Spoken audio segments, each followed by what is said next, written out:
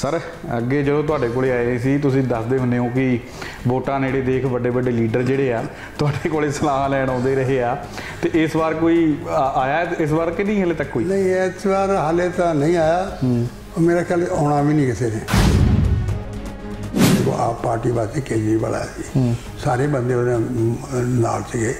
ਆਪਣਾ ਮਾਨ ਵੀ ਸੀ ਦੂਸਰੇ ਸਾਰੇ ਬੈਠੇ ਤੇ ਮੇਰੇ ਨਾਲ ਗੱਲ ਹੋਈ, ਮੈਂ ਕਿਹਾ ਦੇਖੋ ਜੀ ਗੱਲ ਆ ਤੁਹਾਨੂੰ ਰਾਦਾ ਮੇਰਾ ਫੇਸ ਬਣਾਉਂਦਾ ਹੈ ਦੈਟਸ ਰਾਈਟ ਤੁਹਾਨੂੰ ਸੀਐਮ ਫੇਸ ਬਣਾਉਣ ਦਾ ਮੈਂ ਕਿਹਾ ਦੇਖੋ ਪਹਿਲੀ ਤਾਂ ਮੇਰੀ ਏਜ ਹੈ। ਮੈਂ ਹਾਰਡ ਪੋਲਿਟਿਕਸ ਨਹੀਂ ਕਰ ਸਕਦਾ। ਲੈਕਚਰ ਮਤਲਬ ਰੈਲੀਆਂ ਮੈਂ ਦਊਂਗਾ ਲੈਕਚਰ ਪਰ ਗੱਲ ਬਣਨੀ ਨਹੀਂ। ਦੂਜੀ ਗੱਲ ਇਹ ਹੈ ਕਿ ਮੇਰੇ ਕੋਲ ਪੈਸਾ ਹੈ ਨਹੀਂ। ਮੈਨੂੰ ਕਹਿੰਦੇ ਪੈਸੇ ਤੋਂ ਜਾਂਦੇ ਮੈਂ ਕਿਹਾ ਇਹ ਹੋਸੇ ਵਾਲੀ ਗੱਲ ਹੈ ਤਾਂ ਹੋਰ ਬਥੇਰੇ ਮੈਂ। ਮੈਂ ਮੈਂ ਕਿਹਾ ਮੈਂ ਇਸ ਗੱਡੀ ਦਾ ਬੈਲ ਨਹੀਂ ਹੈ। ਮੈਂ ਕਿਹਾ ਦੂ- ਤੀਜੀ ਗੱਲ ਕਰਾ ਦੇ ਆਦੇ ਗਈ ਸੀ ਮੈਂ ਕਿਹਾ ਜੇ ਮੈਂ ਇਲੈਕਸ਼ਨ ਖੜਾ ਹੋ ਗਿਆ ਨਾ ਤੇ ਅਕਾਲੀਆਂ ਨੇ ਤੇ ਕਾਂਗਰਸ ਨੇ ਭਾਵੇਂ ਸਾਰੀਆਂ ਸੀਟਾਂ ਹਾਰ ਜਾਣ ਮੈਨੂੰ ਨਹੀਂ ਜਿੱਤਣ ਦੇਣਾ ਉਹਨੇ। ਸਾਢੇ ਚਾਰ ਸਾਲ ਇਹਨਾਂ ਕੋਲ ਕੋਈ ਪੈਸਾ ਨਹੀਂ ਸੀ। ਬਿਲਕੁਲ। ਲਗਾਤਾਰ ਮਨਪ੍ਰੀਤ ਬਾਦਲ। ਸਾਲ ਦੇ ਵਿੱਚ ਆ ਅੱਜ ਮਹੀਨੇ ਦੇ ਵਿੱਚ ਪੈਸਾ ਕਿੱਥੋਂ ਆ ਗਿਆ? ਮੈਂ ਸੋਚਦਾ ਖਾਲੀ ਝੋੜੀ ਪਤਾਸੇ ਬਣਦੇ ਆ। ਵੋਟਾਂ ਹੀ ਨਹੀਂ ਹੋਣੀ ਚਾਹੀਦੀਆਂ ਸਟੇਟ ਦੀ ਡਿਵੈਲਪਮੈਂਟ ਚਾਹੀਦੀ ਆ। ਉਹ ਕਿਸੇ ਨੇ ਠੀਕ ਕਿਹਾ ਸੀ ਕਿ ਇਹਦਾ ਭੇਡਾਂ ਨੂੰ ਕਹਿਣ ਲੱਗੇ ਕੋਈ ਵੀ ਤੁਹਾਨੂੰ ਅਸੀਂ ਸਰਦੀਆਂ ਨੂੰ ਕੰਬਲ ਦੇਾਂਗੇ ਤੇ ਭੇਡਾਂ ਮੁੰਨ ਕੇ ਹੀ ਕੰਬਲ ਬਣ ਬਣਾਉਣੇ ਆ। ਜਿਹੜਾ ਪੈਸਾ ਤਾਂ ਸਾਡੇ ਕੋਲ ਹੀ ਜਾਣਾ ਜਿਹੜਾ ਸਾਨੂੰ ਦੇਣਾ ਨਹੀਂ। ਇਹ ਬੁਰਕੀਆਂ ਸਿੱਟਣੀਆਂ ਹੂੰ। ਬਿਲਕੁਲ। ਅਨਫੋਰਚੂਨੇਟ ਪਾਰਟ ਹੈ ਕਿ ਅਸੀਂ ਮੂੰਹ ਅੱਡ ਕੇ ਖੜੇ ਹਾਂ ਉਹ ਬੁਰਕੀਆਂ ਬੋਚਦੇ ਆ। ਦਿਸ ਵੈਰੀ ਸੈਡ ਮੈਂ ਸਮਝਦਾ ਕਿ ਪੰਜਾਬ ਦੇ ਸਿਰ ਤੇ ਅੱਗੇ ਹੀ ਕਰਜ਼ਾ ਬਹੁਤਾ। ਜਦ ਤੇ ਇਸ ਗਵਰਨਮੈਂਟ ਨੇ ਛੱਡਣਾ ਤਾਈ ਤਿੰਨ ਆਪਣਾ ਲੱਖ ਕਰੋੜ ਤੋਂ ਕਰਜ਼ਾ ਵੱਧ ਜਾਣਾ। ਜਿਹੜਾ ਸਾਡਾ ਹੈਗਾ ਨਾ ਸਿਚੁਏਸ਼ਨ ਇਹ ਡਾਊਨ ਤੋਂ ਡਾਊਨ ਹੋ ਜਾਂਦੀ ਹੈ ਜਿਹੜੇ ਇੰਟਰਸਟ ਵੀ ਮੋੜਦੇ ਆ ਨਾ ਉਹ ਕਰਜ਼ਾ ਲੈ ਕੇ ਮੋੜਦੇ ਆ। ਬਿਲਕੁਲ ਬਿਲਕੁਲ ਮੈਂ ਹੈਰਾਨ ਇਹ ਆ ਵੀ ਜਦੋਂ ਅਨਾਉਂਸ ਹੋਈ ਆ ਸਾਡਾ ਫਾਈਨੈਂਸ ਮਿਨਿਸਟਰ ਵੀ ਕੋਲ ਬੈਠਾ ਹੁੰਦਾ ਬੰਦੇ ਉਹ ਵੀ ਨਹੀਂ ਬੋਲਦਾ। ਕੋਈ ਵਕਤ ਉਹ ਸੀ ਜਦ ਇੱਕ ਪ੍ਰਪੋਜ਼ਲ ਦਿੱਤੀ ਸੀ ਵੀ ਐਮਐਲਏ ਨੇ ਜਾਣਾ ਜਿਹੜੀ ਹੈਗੀ ਸਕਾਚ ਜਿਹੜੀ ਬਣਦੀ ਉਹਦੀ ਜਿਹੜੀ ਹੈਗੀ ਆਪਣੀ ਉਹ ਪੋਲੂਸ਼ਨ ਕਿਦਾਂ ਕਿਉਂ ਕਰਦੇ ਆ? ਐਮਐਲਏ ਦੇਖ ਕੇ ਆਉਣਗੇ। ਆਪਣੇ ਮਨਪ੍ਰੀਤ ਨੇ ਜਵਾਬ ਦਿੱਤਾ ਜੀ ਮੇਰੇ ਕੋਈ ਪੈਸਾ ਨਹੀਂ ਹੈਗਾ। ਉਹ ਕਹਿੰਦੇ ਮੇਰੇ ਤੋਂ ਪੁੱਛੋ ਮੈਂ ਤੁਹਾਨੂੰ ਡਾਊਨਲੋਡ ਕਰਕੇ ਹੁਣ ਦੱਸ ਦਿੰਦਾ ਮੈਂ ਕਿਦਾਂ ਕੰਟਰੋਲ ਕਰਦੇ ਆ। ਇਦਾਂ ਆਸਟ੍ਰੇਲੀਆ ਨੂੰ ਮੰਗਿਆ ਸੀ ਇਹਨੇ ਜਵਾਬ ਦਿੱਤਾ। ਹੁਣ ਕਿਉਂ ਚੁੱਪ ਕਰਕੇ ਬੈਠਾ? ਹੈ ਜਿੱਥੇ ਡਾਕਟਰ ਸਾਹਿਬ ਇਹ ਲੋੜ ਹੈ ਕਿ ਪੈਸਾ ਇਕੱਠਾ ਕਿਵੇਂ ਕਰਨਾ ਪੈਸਾ ਇਨਕਮ ਪੰਜਾਬ ਦੀ ਵਧਾਉਣੀ ਕਿਵੇਂ ਹੈ ਉੱਥੇ ਇਹ ਵੀ ਸੋਚਣ ਦੀ ਲੋੜ ਹੈ ਕਿ ਪੈਸਾ ਵਰਤਣ ਦੀ ਲੋੜ ਕਿੱਥੇ ਹੈ। ਰਾਜਾ ਬੜਿੰਗ ਨੇ ਬਹੁਤ ਅੱਛਾ ਕੰਮ ਕੀਤਾ ਮੇਰਾ ਆਏ ਅਪਰੇਜ ਬਿਲਕੁਲ, ਬਿਲਕੁਲ। ਉਹਨੇ ਹੌਸਲਾ ਕੀਤਾ। ਪਰ ਇੱਕ ਮੇਰੀ ਸਜੈਸ਼ਨ ਹੈ ਜਿੱਦਣ ਤੋਂ ਉਹ ਬੱਸ ਪਈ ਆ ਪਈ ਆ ਜਿਹੜੀਆਂ ਬੱਸਾਂ ਨੇ ਡਰਾਈਵ ਕੀਤੀਆਂ। ਉਦੋਂ ਤੋਂ ਹੀ ਉਹਨਾਂ ਦਾ ਜਿਹੜਾ ਟੈਕਸ ਵਿਜਨ ਹੈ ਉਸ ਉਸ ਪੁਆਇੰਟ ਤੋਂ ਲੈ ਕੇ ਕੈਲਕੂਲੇਟ ਕਰਕੇ ਇਹਨਾਂ ਨੂੰ ਇਹਨਾਂ ਨਾਲ ਉਹਦੇ ਕੰਪਾਊਂਡਿੰਗ ਕਰਕੇ ਇਹਨਾਂ ਕੋਲ ਪੈਸੇ ਲਓ। ਜੇ ਕੰਪਾਊਂਡਿੰਗ ਨਹੀਂ ਕਰ ਲੈਂਦੇ ਤਾਂ ਬੱਸਾਂ ਨੂੰ ਨਿਲਾਮ ਕਰ ਦਿਓ। ਡਾਕਟਰ, ਕਿਵੇਂ ਕਿਵੇਂ ਦੇਖ ਰਹੇ ਹੋ? ਤੁਹਾਡਾ ਬੜਾ ਲੰਬਾ ਤਜਰਬਾ, ਚਾਰ ਪ੍ਰਧਾਨ ਮੰਤਰੀ ਨਾਲ ਸਲਾਹਕਾਰ ਵੀ ਆ, ਚੁੱਕੇ ਹੋ ਵੱਡੇ ਵੱਡੇ ਲੀਡਰ ਵੀ ਜਿਹੜੇ ਤੁਹਾਡੇ ਤੋਂ ਸਲਾਹ ਲੈਣ ਆਉਂਦੇ ਰਹੇ, ਹੋਰ ਵੀ ਬਹੁਤ ਸਾਰੀਆਂ ਸੇਵਾਵਾਂ ਤੁਸੀਂ ਦੇ ਰਹੇ ਹੋ। ਕੀ ਲੱਗਦਾ ਹੈ ਕਿ ਤੁਹਾਡੀ ਉਮੀਦ, ਡਾਕਟਰ ਸਰਦਾਰਾ ਸਿੰਘ ਜੋਲ ਦੀ ਜੇਕਰ ਮੈਂ ਗੱਲਬਾਤ ਕਰਾਂ, ਕਿਉਂਕਿ ਆਮ ਬੰਦੇ ਦੀ ਤੁਹਾਡੀ ਸੋਚ ਦੇ ਵਿੱਚ ਬਹੁਤ ਜ਼ਿਆਦਾ ਫ਼ਰਕ ਹੈ। ਤੁਹਾਡੀ ਸੋਚ ਦੇ ਮੁਤਾਬਕ ਜੇ ਮੈਂ ਗੱਲ ਕਰਾਂ ਕੀ ਲੱਗਦਾ ਹੈ ਕਿ ਕਿਹੜਾ ਬੰਦਾ ਕਿਹੜੀ ਪਾਰਟੀ ਜਾਂ ਕਿਹੜਾ ਲੀਡਰ ਜਿਹੜਾ ਹੋ ਸਕਦਾ ਹੈ ਪੰਜਾਬ ਦੀਆਂ ਲੋਕਾਂ ਤੇ ਖਰਾ ਉਤਰ ਜਾਵੇ? ਅੱਜ ਦੀ ਸਥਿਤੀ ਦੇ ਮੁਤਾਬਕ। ਤੇ ਹੁਣ ਦੇਖੋ ਸਿੱਧੂ ਨੂੰ ਕਈ ਕਰਦੇ ਲਓ ਜੀ ਇਹ ਬੋਲਦਾ ਬਹੁਤ ਹੈ ਇਹ ਹੈ ਉਹ ਜੋ ਕਹਿੰਦਾ ਉਹ ਤਾਂ ਠੀਕ ਕਹਿੰਦਾ। ਬਿਲਕੁਲ। ਉਹਦੇ ਆਪ ਕਹਿੰਦਾ ਵੀ ਜਾਂ ਤਾਂ ਮੈਨੂੰ ਝੁਠਲਾ ਦਿਓ ਵੀ ਮੇਰੀਆਂ ਗੱਲਾਂ ਗਲਤ ਕਿਹੜੀ ਉਹਦਾ ਸਟਾਈਲ ਹੋਰ ਹੋ ਸਕਦਾ। ਉਹਦਾ ਸਟਾਈਲ ਹੈ ਵੀ ਧੱਕੇ ਨਾ ਕਰਦਾ ਕਰ ਕਰ ਕਰਦਾ ਕਰ ਕਰਦਾ। ਪਰ ਜੋ ਕਹਿੰਦਾ ਉਹ ਤਾਂ ਦੇਖੋ ਕੀ ਕਹਿੰਦਾ ਉਹ। ਸਮਝੇ ਨਾ? ਗਲਤ ਤਾਂ ਨਹੀਂ ਹੈ ਉਹਦੇ ਵਿੱਚ। ਸੋ ਇਹ ਆ ਵੀ ਚਲੋ ਇਦਾਂ ਦੇ ਬੰਦੇ ਨੂੰ ਮੌਕਾ ਵੀ ਮਿਲਣਾ ਚਾਹੀਦਾ ਐਸੀ ਗੱਲ ਨਹੀਂ ਹੈ। ਸਿੱਧੂ ਦੇ ਕੰਟੈਂਟ ਨੂੰ ਦੇਖੋ। ਵੀ ਕਹਿੰਦਾ ਕੀ ਆ? ਇਹ ਉਹਦੇ ਸਟਾਈਲ ਨੂੰ ਨਾ ਦੇਖੋ। ਹੈ। ਉਹ ਇਹੀ ਗੱਲਾਂ ਕਹਿ ਰਿਹਾ ਕਿ ਲੋਕ ਤਾੜੀ ਵਾਲ ਨਾ ਦੇਖੋ ਲੇਕਿਨ ਕਾਦੇ ਉੱਤੇ ਲੋਕੋ ਤਾੜੀ ਕਹਿੰਦਾ ਉਹ ਦੇਖੋ? ਇਹ ਸਿੱਧੂ ਜਦ ਬੀਜੇਪੀ ਚ ਗਿਆ ਨਾ ਪਹਿਲਾਂ ਤੇ ਸਟੇਜ ਤੋਂ ਚੜ੍ਹਨ ਲੱਗਾ ਮੈਨੂੰ ਟੈਲੀਫੋਨ ਕਰ ਦਿੰਦੇ ਪਹਿਲਾਂ। ਅੰਕਲ ਮੈਂ ਕੀ ਕਮਾਂ ਸਿੱਧੂ ਅਗਰ ਇਸ ਚੀਜ਼ ਕੋ ਆਫਟਰ ਕਾਂਗਰਸ ਪ੍ਰੈਜ਼ੀਡੈਂਟ ਦਾ ਮੈਂ ਨਾ ਹੁੰਦਾ ਜੇ ਕਈ ਰਾਈਟ ਬੰਦਿਆਂ ਨੂੰ ਪੈਦੇ ਇਹ ਦੇਖ ਲਵੇ ਦੀ ਕਰਪਸ਼ਨ ਤਾਂ ਨਹੀਂ ਇਹ ਤੇ ਕ੍ਰਾਈਮ ਤਾਂ ਨਹੀਂ। ਕਲੀਨ ਬੰਦੇ ਲਿਆ ਭਾਵੇਂ ਨਵੇਂ ਐਬਸੋਲੂਟਲੀ ਨਵੇਂ ਲਿਆ। ਬਿਲਕੁਲ ਬਿਲਕੁਲ, ਬਿਲਕੁਲ। ਉਹ ਗਵਰਨਮੈਂਟ ਚੱਲ ਜਾਏਗੀ। ਲੋਕ ਪਾਉਣਗੇ ਵੋਟਾਂ, ਚੰਗੇ ਵੋਟਾਂ ਦਾ ਪਤਾ ਹੁੰਦਾ, ਚੰਗੇ ਬੰਦੇ ਦਾ, ਵੀ ਇਹ ਕਲੀਨ ਬੰਦਾ ਚੰਗਾ ਹੈ। ਰੋਜ਼ਾਨਾ ਲੋਕਨਾਦ ਟੀਵੀ ਦੇਖ ਰਹੇ ਹੋ ਤੁਸੀਂ ਤੇ ਮੈਂ ਹਾਂ ਸੁਖਵਿੰਦਰ ਸਿੰਘ ਸਿੱਧੂ। ਅੱਜ ਗੱਲਬਾਤ ਕਰਾਂਗੇ ਕਿ 2022 ਦੀਆਂ ਵਿਧਾਨ ਸਭਾ ਚੋਣਾਂ ਸਿਰ ਤੇ ਆ ਗਈਆਂ ਨੇ ਤੇ ਚੋਣਾਂ ਨੂੰ ਹਰ ਹਾਲ ਦੇ ਵਿੱਚ ਜਿੱਤਣ ਦੇ ਲਈ, ਲੋਕਾਂ ਦਾ ਦਿਲ ਜਿੱਤਣ ਦੇ ਲਈ, ਲੋਕਾਂ ਨੂੰ ਭਰਮਾਉਣ ਦੇ ਲਈ ਵੱਖ-ਵੱਖ ਪਾਰਟੀਆਂ ਜਿਹੜੀਆਂ ਲੋਕਾਂ ਦੇ ਨਾਲ ਵੱਡੇ-ਵੱਡੇ ਵਾਅਦੇ ਕਰ ਰਹੀਆਂ ਨੇ। ਕੋਈ ਕਹਿੰਦਾ ਅਸੀਂ ਬਿਜਲੀ ਫ੍ਰੀ ਦੇ ਦਾਂਗੇ, ਕੋਈ ਰਾਸ਼ਨ ਫ੍ਰੀ ਦੇਣ ਦੀ ਗੱਲ ਕਰ ਰਿਹਾ ਹੈ। ਫ੍ਰੀ ਫ੍ਰੀ ਫ੍ਰੀ ਦੇ ਹੀ ਵਾਅਦੇ ਜਿਹੜੇ ਹਰ ਪਾਰਟੀ ਕਰ ਰਹੀ ਹੈ, ਜਿੱਥੇ ਸਰਕਾਰ ਕਰ ਰਹੀ ਹੈ, ਉੱਥੇ ਵੱਖ-ਵੱਖ ਪਾਰਟੀਆਂ ਹੋਰ ਵੀ ਕਰ ਰਹੀਆਂ ਨੇ। ਪਰ ਸਵਾਲ ਖੜਾ ਇਹ ਹੁੰਦਾ ਹੈ ਕਿ ਪਿਛਲੇ ਲੰਬੇ ਸਮੇਂ ਤੋਂ ਕਰਜ਼ੇ ਦੀ ਮਾਰ ਦੇ ਹੇਠ ਦੱਬਿਆ ਜਾ ਰਿਹਾ ਪੰਜਾਬ। ਤੇ ਜੇਕਰ ਪਿਛਲੇ 4.5 ਸਾਲ ਤੋਂ ਪੰਜਾਬ ਸਰਕਾਰ ਲਗਾਤਾਰ ਇਹੀ ਗੱਲਾਂ ਕਹੀ ਜਾ ਰਹੀ ਹੈ ਕਿ ਸਾਡੇ ਕੋਲ ਪੈਸਾ ਹੈ ਨਹੀਂ, ਤਾਂ ਹੁਣ ਚੋਣਾਂ ਨੇੜੇ ਦੇਖ ਲਗਾਤਾਰ ਫ੍ਰੀ ਫ੍ਰੀ ਚੀਜ਼ਾਂ ਦੇਣ ਦੇ ਐਲਾਨ ਕਰ ਰਹੀ ਹੈ। ਤਾਂ ਫਿਰ ਜੇ 4.5 ਸਾਲ ਪੈਸਾ ਨਹੀਂ ਸੀ, ਤਾਂ ਹੁਣ ਕਿੱਥੋਂ ਪੈਸਾ ਆ ਗਿਆ? ਤੇ ਅਗਲੇ ਆਉਣ ਵਾਲੇ 5 ਸਾਲਾਂ ਦੇ ਵਿੱਚ ਕੋਈ ਵੀ ਸਰਕਾਰ ਜਿਹੜੀ ਆਊਗੀ, ਤਾਂ ਫਿਰ ਉਹ ਕਿੱਥੋਂ ਪੈਸਾ ਲਿਆਏਗੀ? ਤੇ ਪੰਜਾਬ ਦੇ ਲੋਕ ਜਿਹੜੇ ਕਰਜ਼ੇ ਦੀ ਮਾਰ ਹੇਠ ਦੱਬੇ ਜਾ ਰਹੇ ਨੇ, ਉਹ ਨਿਕਲਣਗੇ ਕਿਵੇਂ? ਯਾਨੀ ਕਿ ਪੰਜਾਬ ਨੂੰ ਕਰਜ਼ੇ ਤੋਂ ਮੁਕਤ ਕਿਵੇਂ ਕੀਤਾ ਜਾਊਗਾ, ਇਹ ਕੋਈ ਨਹੀਂ ਦੱਸ ਰਿਹਾ। ਇਹ ਸਭ ਜਾਣਨ ਦੇ ਲਈ ਅਸੀਂ ਅੱਜ ਲੁਧਿਆਣਾ ਪਹੁੰਚੇ ਹਾਂ, ਭਾਰਤ ਦੇ ਪ੍ਰਸਿੱਧ ਅਰਥ ਸ਼ਾਸਤਰੀ ਸਰਦਾਰ ਸਰਦਾਰ ਸਿੰਘ ਜੋਲ ਸਾਹਿਬ। ਉਹ ਸਾਡੇ ਨਾਲ ਨੇ, ਗੱਲਬਾਤ ਕਰਾਂਗੇ ਉਹਨਾਂ ਨਾਲ, ਜਾਣਨ ਦੀ ਕੋਸ਼ਿਸ਼ ਕਰਾਂਗੇ ਕਿ ਅੱਜ ਪੰਜਾਬ ਦੇ ਉੱਪਰ ਕੀ ਵਿੱਤੀ ਸੰਕਟ ਬਣੇ ਹੋਏ ਨੇ, ਕਿਸ ਕਿਹਨਾਂ ਸੰਕਟਾਂ ਦੇ ਨਾਲ ਪੰਜਾਬ ਜੂਝ ਰਿਹਾ ਹੈ ਤੇ ਇਹ ਨਿਕਲੇਗਾ ਕਿਵੇਂ? ਸਭ ਤੋਂ ਪਹਿਲਾਂ ਉਹਨਾਂ ਦਾ ਸਵਾਗਤ ਕਰਦੇ ਹਾਂ। ਸਰ, ਸਵਾਗਤ ਹੈ ਪ੍ਰੋਗਰਾਮ ਵਿੱਚ ਬਹੁਤ ਬਹੁਤ ਸ਼ੁਕਰੀਆ। ਮੇਰਾ ਸਾਰੇ ਸੁਣਨ ਵਾਲਿਆਂ ਨੂੰ, ਦੇਖਣ ਵਾਲਿਆਂ ਨੂੰ ਨਮਸਕਾਰ, ਸਤਿ ਸ੍ਰੀ ਅਕਾਲ। ਔਰ ਪੁੱਛੋ ਕੀ ਪੁੱਛਣਾ। ਸਰ ਅੱਗੇ ਜਦੋਂ ਤੁਹਾਡੇ ਕੋਲੇ ਆਏ ਸੀ ਤੁਸੀਂ ਦੱਸਦੇ ਹੁੰਦੇ ਹੋ ਕਿ ਵੋਟਾਂ ਨੇੜੇ ਦੇਖ ਵੱਡੇ ਵੱਡੇ ਲੀਡਰ ਜਿਹੜੇ ਆ ਤੁਹਾਡੇ ਕੋਲੇ ਸਲਾਹ ਲੈਣ ਆਉਂਦੇ ਰਹੇ ਆ। ਤੇ ਇਸ ਵਾਰ ਕੋਈ ਆਇਆ ਇਸ ਵਾਰ ਕਿ ਨਹੀਂ ਹਲੇ ਤੱਕ ਕੋਈ? ਨਹੀਂ ਇਸ ਵਾਰ ਹਾਲੇ ਤਾਂ ਨਹੀਂ ਆਇਆ। ਉਹ ਮੇਰਾ ਖਿਆਲ ਆਉਣਾ ਵੀ ਨਹੀਂ ਕਿਸੇ ਨੇ। ਹੂੰ। ਉਹ ਕਿਉਂ ਜੀ? ਉਹ ਵਜ੍ਹਾ ਹੈ ਕਿ ਜੋ ਮੈਂ ਸੋਚਦਾ ਇਹ ਪੋਲੀਟੀਕਲ ਪਾਰਟੀਆਂ ਜਾਂ ਪੋਲੀਟੀਕਲ ਬੰਦੇ ਨਹੀਂ ਸੋਚਦੇ। ਹੂੰ। ਉਹਨਾਂ ਨੂੰ ਫਿਕਰ ਹੁੰਦੀ ਹੈ ਸਿਰਫ ਵੋਟਾਂ ਦੀ। ਹੂੰ। ਇਹ ਵੋਟਾਂ ਲੈਣੀਆਂ ਕਿਸੇ ਕਿਸ ਤਰ੍ਹਾਂ ਮਿਲ ਜਾਏ ਹੂੰ। ਮੇਰੇ ਦਿਮਾਗ 'ਚ ਹੈ ਪੰਜਾਬ ਕਿੱਦਾਂ ਚੱਲੇ? ਹੂੰ ਬਿਲਕੁਲ ਬਿਲਕੁਲ। ਤੇ ਇਹ ਦੋ ਜਿਹੜਾ ਡਿਫਰੈਂਸ ਹੈ ਨਾ ਸਾਡਾ ਬਹੁਤ ਜ਼ਿਆਦਾ ਹੈ ਇਸ ਸੋਚ ਦੇ ਵਿੱਚ। ਹੂੰ। ਸੋ ਮੇਰਾ ਖਿਆਲ ਨਹੀਂ ਕੋਈ ਪੋਲੀਟੀਕਲ ਪਾਰਟੀ ਮੇਰੇ ਕੋਲ ਆਤ ਕੀ ਆਏਗੀ। ਹੂੰ। ਜੇ ਮੈਂ ਪਿਛਲੀ ਵਾਰੀ ਕੋਈ ਸਟੇਸ਼ਨ ਦਿੱਤੀ ਵੀ ਆ ਤਾਂ ਉਹਨਾਂ ਨੇ ਮੰਨੀ ਨਹੀਂ। ਉਹ ਬਾ ਆਪਣੀ ਚਲਾਉਂਦੇ ਆ ਸਿਰਫ ਕਈ ਵਾਰੀ ਮੇਰਾ ਨਾਮ ਯੂਜ਼ ਕਰਦੇ ਆ। ਪਿਛਲੀ ਵਾਰ ਤੁਸੀਂ ਦੱਸਿਆ ਸੀਗਾ ਵੀ ਕੈਪਟਨ ਅਮਰਿੰਦਰ ਸਿੰਘ ਮੇਰੇ ਤੋਂ ਨਹੀਂ ਬੜਾ ਆਈ ਕੇਜਰੀਵਾਲ ਵੀ ਆਇਆ ਸੀ ਉਹ ਵੀ ਆਇਆ ਸੀ ਉਹ ਤਾਂ ਚਲੋ ਉਹ ਤਾਂ ਕੋਈ ਨਹੀਂ ਮੈਂ ਚਲਾ ਗਿਆ ਜੋ ਆ ਗਿਆ। ਉਹ ਤਾਂ ਕੋਈ ਮੈਨੂੰ ਵੱਡੀ ਗੱਲ ਨਹੀਂ ਸਮਝਦਾ। ਚਲੋ ਜਿਹੜੀ ਸਲਾਹ ਜਿਸ ਮਕਸਦ ਦੇ ਨਾਲ ਉਹ ਆਏ ਸੀ ਉਹ ਤਾਂ ਪੂਰੀ ਕਰ ਦੇਣੀ ਚਾਹੀਦੀ ਸੀ। ਚਲੋ ਐਨੀਵੇ ਇਹ ਨਹੀਂ ਹੋਣੀ ਹੋਣੀ। ਲੇਕਿਨ ਮੈਂ ਜੋ ਮਹਿਸੂਸ ਕਰਦਾ ਕਿ ਸਾਰੀਆਂ ਪਾਰਟੀਆਂ ਗਲਤ ਟਰੈਕ ਤੇ ਨੇ। ਹੂੰ ਬਿਲਕੁਲ। ਪੰਜਾਬ ਤੋਂ ਪਹਿਲਾਂ ਇਹ ਮੈਂ ਮੰਨਦਾ ਇਸ ਨੂੰ ਕਿ ਵੈਲਫੇਅਰ ਸਟੇਟ ਦੇ ਵਿੱਚ ਇਹ ਜ਼ਰੂਰੀ ਹੁੰਦਾ ਕਿ ਜਿਹੜੇ ਬੰਦੇ ਰਿਸੋਰਸਲੈਸ ਹੋਣ ਜਾਂ ਜਿਹੜੇ ਬੰਦਿਆਂ ਦੀ ਮਤਲਬ ਮਦਦ ਦੀ ਲੋੜ ਹੈ ਵੈਲਫੇਅਰ ਸਟੇਟ ਮਦਦ ਕਰਦੀ ਹੁੰਦੀ ਹੈ। ਜਿੱਦਾਂ ਤੁਸੀਂ ਡਿਵੈਲਪਮੈਂਟ ਕੰਟਰੀ ਦੇਖ ਲਓ ਜਿੰਨਾ ਚਿਰ ਤੁਸੀਂ ਕਮਾਉਨੇ ਆ ਉਹਨਾਂ ਚ ਪੈਸੇ ਦਿੰਦੇ ਹੋ ਲੇਕਿਨ ਜਦ ਤੁਸੀਂ ਨਹੀਂ ਕਮਾਉਂਦੇ ਤਾਂ ਤੁਹਾਨੂੰ ਜਦ ਤੁਹਾਨੂੰ ਲੋੜ ਪੈਂਦੀ ਹੈ ਆਪਣੇ ਹੈਲਥ ਦੀ ਜਾਂ ਹੋਰ ਕਿਸੇ ਚੀਜ਼ ਦੀ ਉਹ ਤੁਹਾਨੂੰ ਮਿਲ ਜਾਂਦੀ ਹੈ ਫਰੀ ਬਿਲਕੁਲ। ਲੇਕਿਨ ਸਾਡਾ ਸਿਸਟਮ ਜਿਹੜਾ ਹੈ ਉਹਦਾ ਫੋਕਸਡ ਆਨ ਜਿਹੜਾ ਵੋਟਾਂ ਲੈਣ ਤੇ ਫੋਕਸ ਹੈ ਇਹ ਆ ਪ੍ਰੋਬਲਮ ਹੂੰ। ਹੁਣ ਆਇਆ ਜੀ ਕੇਜਰੀਵਾਲ ਆਇਆ 300 ਯੂਨਿਟ ਹਰੇਕ ਨੂੰ ਫ੍ਰੀ ਦੇ ਦੂੰਗਾ ਮੈਂ। ਹੂੰ। ਅਕਾਲੀਆਂ ਨੇ ਕਿਹਾ 400 ਦੇ ਦੂੰਗਾ ਤੇ ਇਹਨੇ ਆਉਂਦੇ ਨੇ ਕਿ ਜਮ- ਚ- ਚੰਨੀ ਨੇ ਉਹਨੇ ਦੱਸਿਆ ਹੁੰਦਾ ਪਤਾ ਨਹੀਂ ਕੀ ਕਰਦਾ। ਇਹਨੇ ਚੰਨੀ ਨੇ ਆਉਂਦੇ ਨੇ ਉਹ 300 ਉਹ ਜਿਹੜਾ ਉਹ ਮਾਫ ਕਰਤਾ ਸਾਰਾ ਕੁਝ। ਪਿਛਲੇ ਜਿਹੜਾ ਪਿਛਲੇ ਬਕਾਏ ਖੜੇ ਸੀਗੇ। ਮਾਫ ਕਰ ਦਿੱਤੇ। ਹੈ? ਤੇ ਮਤਲਬ ਪੈਸੇ ਵੰਡੀ ਜਾਂਦਾ। ਹੁਣ ਇਹ ਵੀ ਨਹੀਂ ਪਤਾ ਵੀ ਪੈਸੇ ਦਿੱਤੇ ਦੇਣਗੇ ਵੀ ਕਿ ਵੰਡੇ ਹੀ ਉਹਦਾ ਅਨਾਉਂਸ ਕੀਤੇ ਆ। ਵੀ ਇਹ ਦੇਣਗੇ ਤਾਂ ਸਵਾਲ ਹੈ ਕਿੱਥੋਂ ਦੇਣਗੇ। ਹੂੰ। ਸਾਢੇ ਚਾਰ ਸਾਲ ਇਹਨਾਂ ਕੋਲ ਕੋਈ ਪੈਸਾ ਨਹੀਂ ਸੀ। ਬਿਲਕੁਲ। ਲਗਾਤਾਰ ਮਨਪ੍ਰੀਤ ਬਾਦਲ। ਸਾਲ ਦੇ ਵਿੱਚ ਆ ਆ ਜੇ ਮਹੀਨੇ ਦੇ ਵਿੱਚ ਪੈਸਾ ਕਿੱਥੋਂ ਆ ਗਿਆ। ਮੈਂ ਸੋਚਦਾ ਕਿ ਖਾਲੀ ਝੋੜੀ ਪਤਾਸੇ ਬਣਦੇ ਆ। ਹੂੰ। ਇਹ ਕੰਮ ਨਹੀਂ ਕਰਨਾ ਚਾਹੀਦਾ ਇਹਨਾਂ ਨੂੰ। ਜਿਹੜਾ ਜਿਹੜਾ ਆਬਜੈਕਟਿਵ ਹੈ ਸਿਰਫ ਉਹ। ਵੋਟਾਂ ਹੀ ਨਹੀਂ ਹੋਣੀ ਚਾਹੀਦੀਆਂ ਸਟੇਟ ਦੀ ਡਿਵੈਲਪਮੈਂਟ ਚਾਹੀਦੀ ਹੈ। ਉਹ ਕਿਸੇ ਨੇ ਠੀਕ ਕਿਹਾ ਸੀ ਕਿ ਇਹਦਾ ਭੇਡਾਂ ਨੂੰ ਕਹਿਣ ਲੱਗੇ ਕੋਈ ਵੀ ਤੁਹਾਨੂੰ ਅਸੀਂ ਸਰਦੀਆਂ ਨੂੰ ਕੰਬਲ ਦੇਵਾਂਗੇ ਹੂੰ। ਤੇ ਭੇਡਾਂ ਮੁੰਨ ਕੇ ਕੰਬਲ ਬਣ ਬਣਾਉਣੇ ਆ। ਜਿਹੜਾ ਪੈਸਾ ਤਾਂ ਸਾਡੇ ਕੋਲ ਜਾਣਾ ਜਿਹੜਾ ਸਾਨੂੰ ਦੇਣਾ ਨਹੀਂ। ਬਿਲਕੁਲ ਬਿਲਕੁਲ।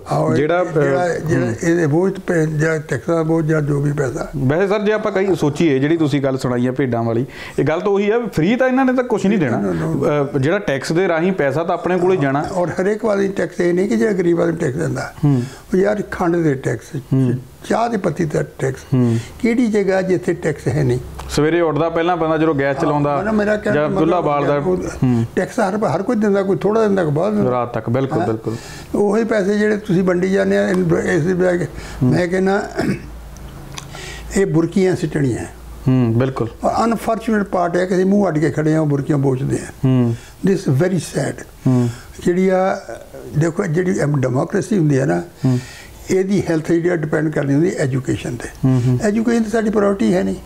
ਬਿਲਕੁਲ। ਜੇ ਗਵਰਨਮੈਂਟ ਦੀ ਬਜਟ ਤੋਂ ਠੀਕ ਕਰਦੀ ਹੈ ਉਹ ਬੋਰਡ ਦੀ ਪ੍ਰਾਈਵੇਟ ਵਨ ਤੁਸੀਂ ਕੋਈ ਸਟੈਂਡਰਡ ਮੇਜਰ ਕਰੋ ਕੋਈ ਪਾਲਿਸੀ ਹੋਵੇ ਤੁਹਾਡੀ ਆਪਣੀ ਉਹ ਹੈ ਨਹੀਂ।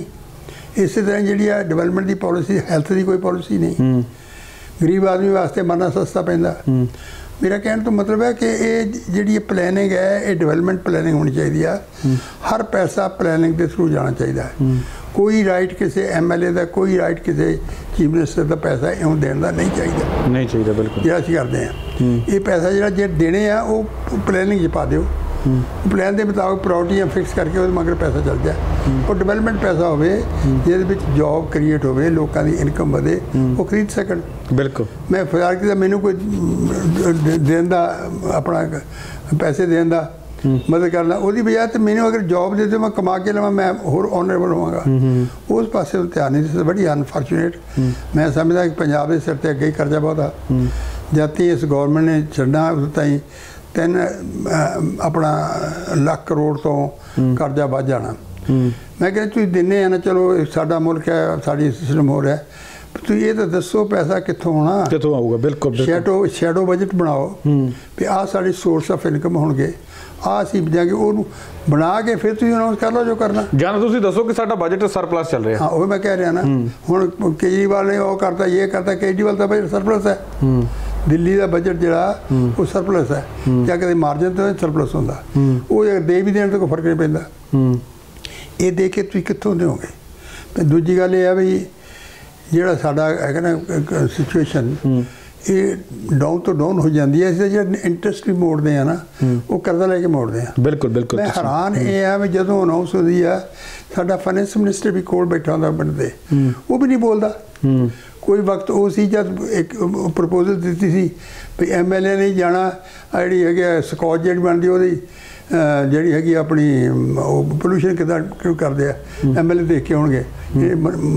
ਆਪਣੇ ਮਨਪ੍ਰੀਤ ਨੇ ਜਵਾਬ ਦਿੱਤਾ ਕਿ ਮੇਰੇ ਕੋਈ ਪੈਸਾ ਨਹੀਂ ਹੈਗਾ। ਉਹ ਕਹਿੰਦੇ ਮੇਰੇ ਤੋਂ ਪੁੱਛੋ ਮੈਂ ਤੁਹਾਨੂੰ ਡਾਊਨਲੋਡ ਕਰਕੇ ਹੁਣ ਦੱਸ ਦਿੰਦਾ ਮੈਂ ਕਿਦਾਂ ਕੰਟਰੋਲ ਕਰਦੇ ਆ। ਇਦਾਂ ਆਸਟ੍ਰੇਲੀਆ ਨੂੰ ਮੰਗਿਆ ਸੀ ਇਹਨੇ ਜਵਾਬ ਦਿੱਤਾ। ਹੁਣ ਕਿਉਂ ਚੁੱਪ ਕਰਕੇ ਬੈਠਾ ਹੂੰ। ਵਾਈ ਹੀ ਹੁਣ ਤਾਂ ਹੁਣ ਤਾਂ ਚੰਨੀ ਸਾਹਿਬ ਉਹਦੇ ਵਿੱਚ ਪ੍ਰੈਸ ਕਾਨਫਰੰਸ ਦੇ ਵਿੱਚ ਕਹਿ ਰਹੇ ਸੀ ਮੈਂ ਉਹੀ ਕਹਿ ਰਿਹਾ। ਵਿਧਾਨ ਸਭਾ ਦੇ ਵਿੱਚ ਕਹਿਤਾ ਕਿ ਸਾਡੇ ਕੋਲ ਪੈਸਾ ਬਹੁਤ ਹੈ। ਤੋਂ ਵੀ ਉਹੀ ਗੱਲ ਹੋ ਗਈ ਉਸ ਤੋਂ। ਤੇ ਇਹ ਜਿਹੜੇ ਆ ਮੈਂ ਸਮਝਦਾ ਬੜੇ ਗਲਤ ਟਰੈਕ ਤੇ ਆ। ਇਹ ਪੰਜਾਬ ਦਾ ਅੱਗੇ ਪੱਠਾ ਬੈਠਾ ਹੋਰ ਬੈਠਣਗੇ। ਜੇ ਤੁਸੀਂ ਕਿਸ਼ਤਾਂ ਵਾਪਸ ਨਹੀਂ ਕਰ ਸਕਦੇ ਆਪਣੇ ਕੋਲੋਂ ਤੁਸੀਂ ਇੰਟਰਸਟ ਵਾਪਸ ਨਹੀਂ ਕਰ ਸਕਦੇ ਤਾਂ ਕਿਉਂ ਪੈਸੇ ਬਰਬਾਦ ਕਰਦੇ ਆ ਇਸ ਕੀ? ਹੁਣ ਫਾਰ ਐਗਜ਼ਾਮਪਲ ਇੱਕ ਆਪਣਾ ਲੋਨ ਹੈ। ਵੀ ਅਸੀਂ ਇੰਨੇ ਏਕੜ ਤੱਕ ਮਾਫ ਕਰ ਦੇਵਾਂਗੇ ਉਹ ਕਿਉਂ ਕੀਤੇ ਨੇ ਮਾਫ ਨਾ? ਕੀ ਪਤਾ ਉਹਦੇ ਵਿੱਚ ਕਿਸੇ ਨੂੰ ਲੋੜ ਹੈਗੀ ਹੈ ਜਾਂ ਨਹੀਂ ਹੈਗੀ ਹੈ? ਮੈਂ ਉਹਨੂੰ ਸਿਸਟਮ ਦੱਸਿਆ ਸੀ ਵੀ ਤੁਸੀਂ ਜਿਹੜਾ ਕਰਜ਼ਾ ਮਾਫ ਕਰਨਾ ਜਾਂ ਜੋ ਵੀ ਕਰਨਾ ਤੁਸੀਂ ਡਿਸਟ੍ਰਿਕਟ ਲੈਵਲ ਦੇ ਉੱਤੇ ਇੱਕ ਪੈਨਲ ਬਣਾਓ। ਜਿਹਦੇ ਚ ਇੱਕ ਜਾਂ ਦੋ ਬੰਦੇ ਪਬਲਿਕ ਦੇ ਹੋਣ ਤੇ ਦੋ ਬੰਦੇ ਗਵਰਨਮੈਂਟ ਦੇ ਹੋਣ ਉਹਦੇ ਤੇ ਜਿਹੜਾ ਰਿਟਾਇਰਡ ਜੱਜ ਪ੍ਰੀਜ਼ਾਈਡ ਕਰੇ ਜਾਂ ਸੀਨੀਅਰ ਵਕੀਲ ਕੋ ਕਰੇ। ਵਾਲ ਹੂੰ ਹੂੰ। ਜਿਹਨੂੰ ਪ੍ਰੋਬਲਮ ਹੈ ਉਸ ਪੈਨਲ ਕੋ ਆਵੇ। ਉਹਨੂੰ ਦੇਖ ਲਓ ਚਾਹੇ ਉਹ ਫਾਰਮਰ ਹੈ ਚਾਹੇ ਉਹ ਲੇਬਰਰ ਹੈ ਚਾਹੇ ਉਹ ਇੰਡਸਟਰੀਅਲ ਹੈ ਚਾਹੇ ਜੋ ਵੀ ਹੈਗਾ ਉਹਨੂੰ ਕਿਸੇ ਨੂੰ ਖਾਸ ਆ ਸਕਦੀ ਪ੍ਰੋਬਲਮ ਐਸੀ ਗੱਲ ਨਹੀਂ। ਉਹਨਾਂ ਕੋ ਆਵੇ ਆਖਰ ਤੇ ਉਹਨਾਂ ਨੂੰ ਦੇਖ ਕੇ ਉਹ ਜੇ ਜੋ ਵੀ ਰੈਮਡੀ ਉਹ ਕਰ ਸਕਣਗੇ ਵੀ ਤੂੰ ਰੀਰਾਈਟ ਕਰ ਲੋਨ ਨੂੰ ਕਿਸ਼ਤਾਂ ਵਧਾ ਲੰਬੀਆਂ ਕਰ ਦਿਓ। ਉਹਦਾ ਇੰਟਰਸਟ ਮਾਫ ਕਰ ਦਿਓ ਹੈ। ਵਨ ਟਾਈਮ ਸੈਟਲਮੈਂਟ ਕਰ ਦਿਓ। ਜੇ ਇੱਕ ਹੀ ਦੇਖੋ ਜੈਨੂਨ ਇਹਦਾ ਕੇਸ ਜਿਹੜਾ ਉਹਦਾ ਮਾਫ ਕਰਦਾ ਹੈਗਾ ਤੁਹਾਨੂੰ ਮਾਫ ਕਰ ਦਿਓ। ਮੈਂ ਇਹ ਪੁੱਛਦਾ ਮੇਰੇ ਸਵਾਲ ਹੈ ਚਾਰ। ਮੈਂ ਪੁੱਛਦਾ ਤੁਸੀਂ ਹੁਣ ਜਿਹੜੇ ਪੈਸੇ ਦਿੱਤੇ ਆ ਉਹ ਹਾਊ ਡੂ ਯੂ ਨੋ ਕਿ ਇਹ ਜਿਹੜੇ ਰਾਈਟ ਬੰਦੇ ਕੋ ਗਏ ਆ? ਬਿਲਕੁਲ। ਲੋੜ ਸੀ ਕਿ ਨਹੀਂ ਸੀ? ਹੂੰ। ਮੇਰਾ ਸਵਾਲ ਇਹ ਆ ਕਿ ਜਿਹੜੇ ਬੰਦੇ ਨੇ ਕਰਜ਼ਾ ਨਹੀਂ ਲਿਆ ਉਹਨੇ ਕੀ ਗਲਤੀ ਕੀਤੀ ਆ? ਹੂੰ। ਜਿਹੜੇ ਜਿਹੜੇ ਬੰਦੇ ਨੇ ਕਰਜ਼ਾ ਵਾਪਸ ਕਰਤਾ ਉਹ ਤੋਂ ਕੀ ਕੀ ਗੁਨਾਹ ਪਿੰਡਾਂ 'ਚ ਰੌਲਾ ਪੈ ਰਿਹਾ ਕਿ ਆਪਦੇ ਚਹੇਤਿਆਂ ਦੇ ਕਰਜ਼ੇ ਮਾਫ ਕਰਤੇ ਦੂਜੇ ਰਹਿ ਗਏ? ਕਿਉਂ ਗੁਨਾਹ ਉਹਨੇ ਕੀ ਗੁਨਾਹ ਕੀਤਾ? ਮੈਂ ਕਿ ਜਿਹੜਾ ਵਾਪਸ ਕਰ ਸਕਦਾ ਉਹ ਕਿਉਂ ਨਾ ਕਰੇ? ਹੈ ਕੀ ਕਰਜ਼ਾ ਪੂਰੇ ਸੈਕਟਰ ਨੇ ਲਿਆ ਹੋਇਆ ਹੈ। ਕਰਜ਼ਾ ਤਾਂ ਇੰਡੀਵਿਜੂਅਲ ਹੈ ਕਿਸੇ ਕੋ ਜ਼ਿਆਦਾ ਕਿਸੇ ਕੋ ਬਹੁਤਾ ਕਿਸੇ ਨੇ ਨਹੀਂ ਲਿਆ। ਬਿਲਕੁਲ। ਹੈ? ਵੀ ਕਰਜ਼ਾ ਤਾਂ ਇੰਡੀਵਿਜੂਅਲ ਲਿਆ ਤੁਸੀਂ ਕਹਿੰਦੇ ਮੈਂ ਨਹੀਂ ਤਾਂ ਕਿ ਸੈਕਟਰ ਦਾ ਕਰਜ਼ਾ ਮਾ ਐਗਰੀਕਲਚਰ ਸੈਕਟਰ ਐਗਰੀਕਲਚਰ ਸੈਕਟਰ ਉਹ ਐਗਰੀਕਲਚਰ ਸੈਕਟਰ ਦੇ ਵਿੱਚ ਕੋਈ ਇੱਕ ਤਰ੍ਹਾਂ ਦਾ ਫਾਰਮਰ ਹੈ। ਫਾਰਮਰ ਉਹ ਵੀ ਹੈ ਜਿਹੜੇ 2000 ਏਕੜ ਤੇ ਆਲੂ ਲਾਉਂਦੇ ਆ। ਫਾਰਮਰ ਉਹ ਵੀ ਜਿਹੜਾ ਅੱਧੇ ਏਕੜ ਤੇ ਬੈਠੇ ਦੂਰ ਤੇ ਬੈਠੇ ਆ। ਬਿਲਕੁਲ ਬਿਲਕੁਲ। ਤੁਸੀਂ ਉਹਨੂੰ ਪੁੱਟ ਟੂਗੇਦਰ ਇੱਕ ਲੰਪ ਚ ਕਿਉਂ ਯੂਜ਼ ਕਰਦੇ ਕਰਦੇ ਹੋ। ਇਹ ਤਰ੍ਹਾਂ ਬਿਜਲੀ ਦੇ ਪਾਣੀ ਦਾ ਮੈਂ ਸਮਝਾਇਆ ਬਈ ਭਾਈ ਜਿਹੜਾ ਤੁਹਾਨੂੰ ਸਬਸਿਡੀ ਆ ਉਹ ਫਾਰਮਰ ਦੇ ਪੱਲੇ ਨਹੀਂ ਪੈਂਦੀ ਏ ਔਰ ਤੁਹਾਡੀ ਗਲਤ ਸਬਸਿਡੀ ਆ। ਵੀ ਜਦ ਤੁਸੀਂ ਸਬਸਿਡੀ ਦਿੰਦੇ ਆ ਤੇ ਇਹ ਗਵਰਨਮੈਂਟ ਦੇ ਖਰਚ ਤੇ ਜਿਹੜਾ ਪਾਣੀ ਚ ਨਿਕਲਦਾ ਬਿਜਲੀ ਜਾਂਦੀ ਆ। ਜਿਹੜਾ ਤੁਹਾਡਾ ਐਮਐਸਪੀ ਵਾਲਾ ਜਿਹੜਾ ਆਪਣਾ ਕਮਿਸ਼ਨ ਉਹ ਉਹਦੀ ਕਾਸਟ ਨੂੰ ਜ਼ੀਰੋ ਲਾ ਦਿੰਦਾ। ਤੇ ਉਹ ਤੇ ਦਿੱਤੀ ਹੈ ਵਜੋਂ ਜਦ ਤੁਸੀਂ ਜ਼ੀਰੋ ਕਾਸਟ ਲੱਗ ਜਾਣੀ ਇਹਨਾਂ ਦੀ ਕਿਉਂਕਿ ਗਵਰਨਮੈਂਟ ਦਿੱਤੀ ਹੈ ਤੁਹਾਡਾ ਖਰਚ ਨਹੀਂ। ਉਹ ਫਾਰਮਰ ਦੀ ਕਾਸਟ ਲੈਂਦਾ ਤੇ ਉਹਦੇ ਵਿੱਚ ਇਹਦਾ ਮਤਲਬ ਉਹ ਨਹੀਂ ਉਹਦੀ ਉਹਦੀ ਕਾਸਟ ਘਟ ਗਈ। ਕਾਸਟ ਘਟ ਗਈ ਉਹਦੀ ਪ੍ਰਾਈਸ ਘਟ ਗਈ। ਉਹਦੀ ਪ੍ਰਾਈਸ ਘਟ ਗਈ ਜਿਹੜੇ ਐਮਐਸਪੀ ਘਟ ਗਈ। ਜੇ ਐਮਐਸਪੀ ਘਟ ਗਈ ਤਾਂ ਫਿਰ ਉਹਦੇ ਨਾਲ ਜਿਹੜਾ ਇਸ਼ੂ ਪ੍ਰਾਈਸ ਘਟ ਗਈ। ਫਾਇਦਾ ਤਾਂ ਕੰਜ਼ੂਮਰ ਨੂੰ ਹੋ ਗਿਆ। ਔਰ 20 22 ਮਿਲੀਅਨ ਟਨ ਦਾ ਫੂਡ ਗੇਨ ਕੰਜ਼ੂਮਰ ਹਿੰਦੁਸਤਾਨ ਤੋਂ ਬਾਹਰ ਬੈਠਾ। ਵੀ ਤੁਸੀਂ ਤਾਂ ਸਬਸਿਡੀ ਨੂੰ ਦੇ ਰਹੇ ਫਾਰਮਰ ਨੂੰ ਕਿੱਥੋਂ ਦੇ ਰਹੇ? ਬਿਲਕੁਲ। ਹੈ? ਵੀ ਤੁਸੀਂ ਜੇ ਸਬਸਿਡੀ ਦੇਣੀ ਆ ਦੇਖੋ ਦੋ ਤਰੀਕੇ ਹੁੰਦੇ ਇੱਕ ਤੁਸੀਂ ਇਨਪੁਟ ਸੇ ਸਬਸਿਡੀ ਦਿੰਦੇ ਆ। ਜਿਹੜੀ WTO ਦੇ ਮੁਤਾਬਕ ਰੈੱਡ ਬਾਕਸ ਸਬਸਿਡੀ ਆ। ਜਿਹੜੀ ਇਹ ਸਬਸਿਡੀ ਆ ਇਹ ਰੈੱਡ ਬਾਕਸ ਸਬਸਿਡੀ ਆ। WTO ਦੀ ਅੰਡਰਸਟੈਂਡਿੰਗ ਦੇ ਮੁਤਾਬਕ ਇਹ ਸਬਸਿਡੀ ਗਲਤ ਹੈ ਕਿਉਂਕਿ ਮਾਰਕੀਟ ਪ੍ਰਾਈਸ ਨੂੰ ਇਫੈਕਟ ਕਰਦੀ ਹੈ। ਬਿਲਕੁਲ। ਦੂਜੀ ਹੈਗੀ ਆ ਜਿਹੜੀ ਆ ਇਨਕਮ ਸਪੋਰਟ ਸਬਸਿਡੀ ਉਹ ਗ੍ਰੀਨ ਬਾਕਸ ਸਬਸਿਡੀ ਹੈ। ਵੀ ਤੁਸੀਂ ਡਾਇਰੈਕਟਲੀ ਫਾਰਮਰ ਦੀ ਇਨਕਮ ਨੂੰ ਸਪੋਰਟ ਕੀਤਾ।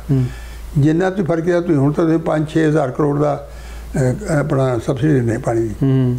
ਮੈਂ ਤਾਂ ਕਹਿੰਦਾ 10 ਦਿਓ। 20 ਦਿਓ ਜੋ ਤੁਹਾਡੀ ਸਮਰੱਥਾ ਸਾਰੀ ਦਿਓ।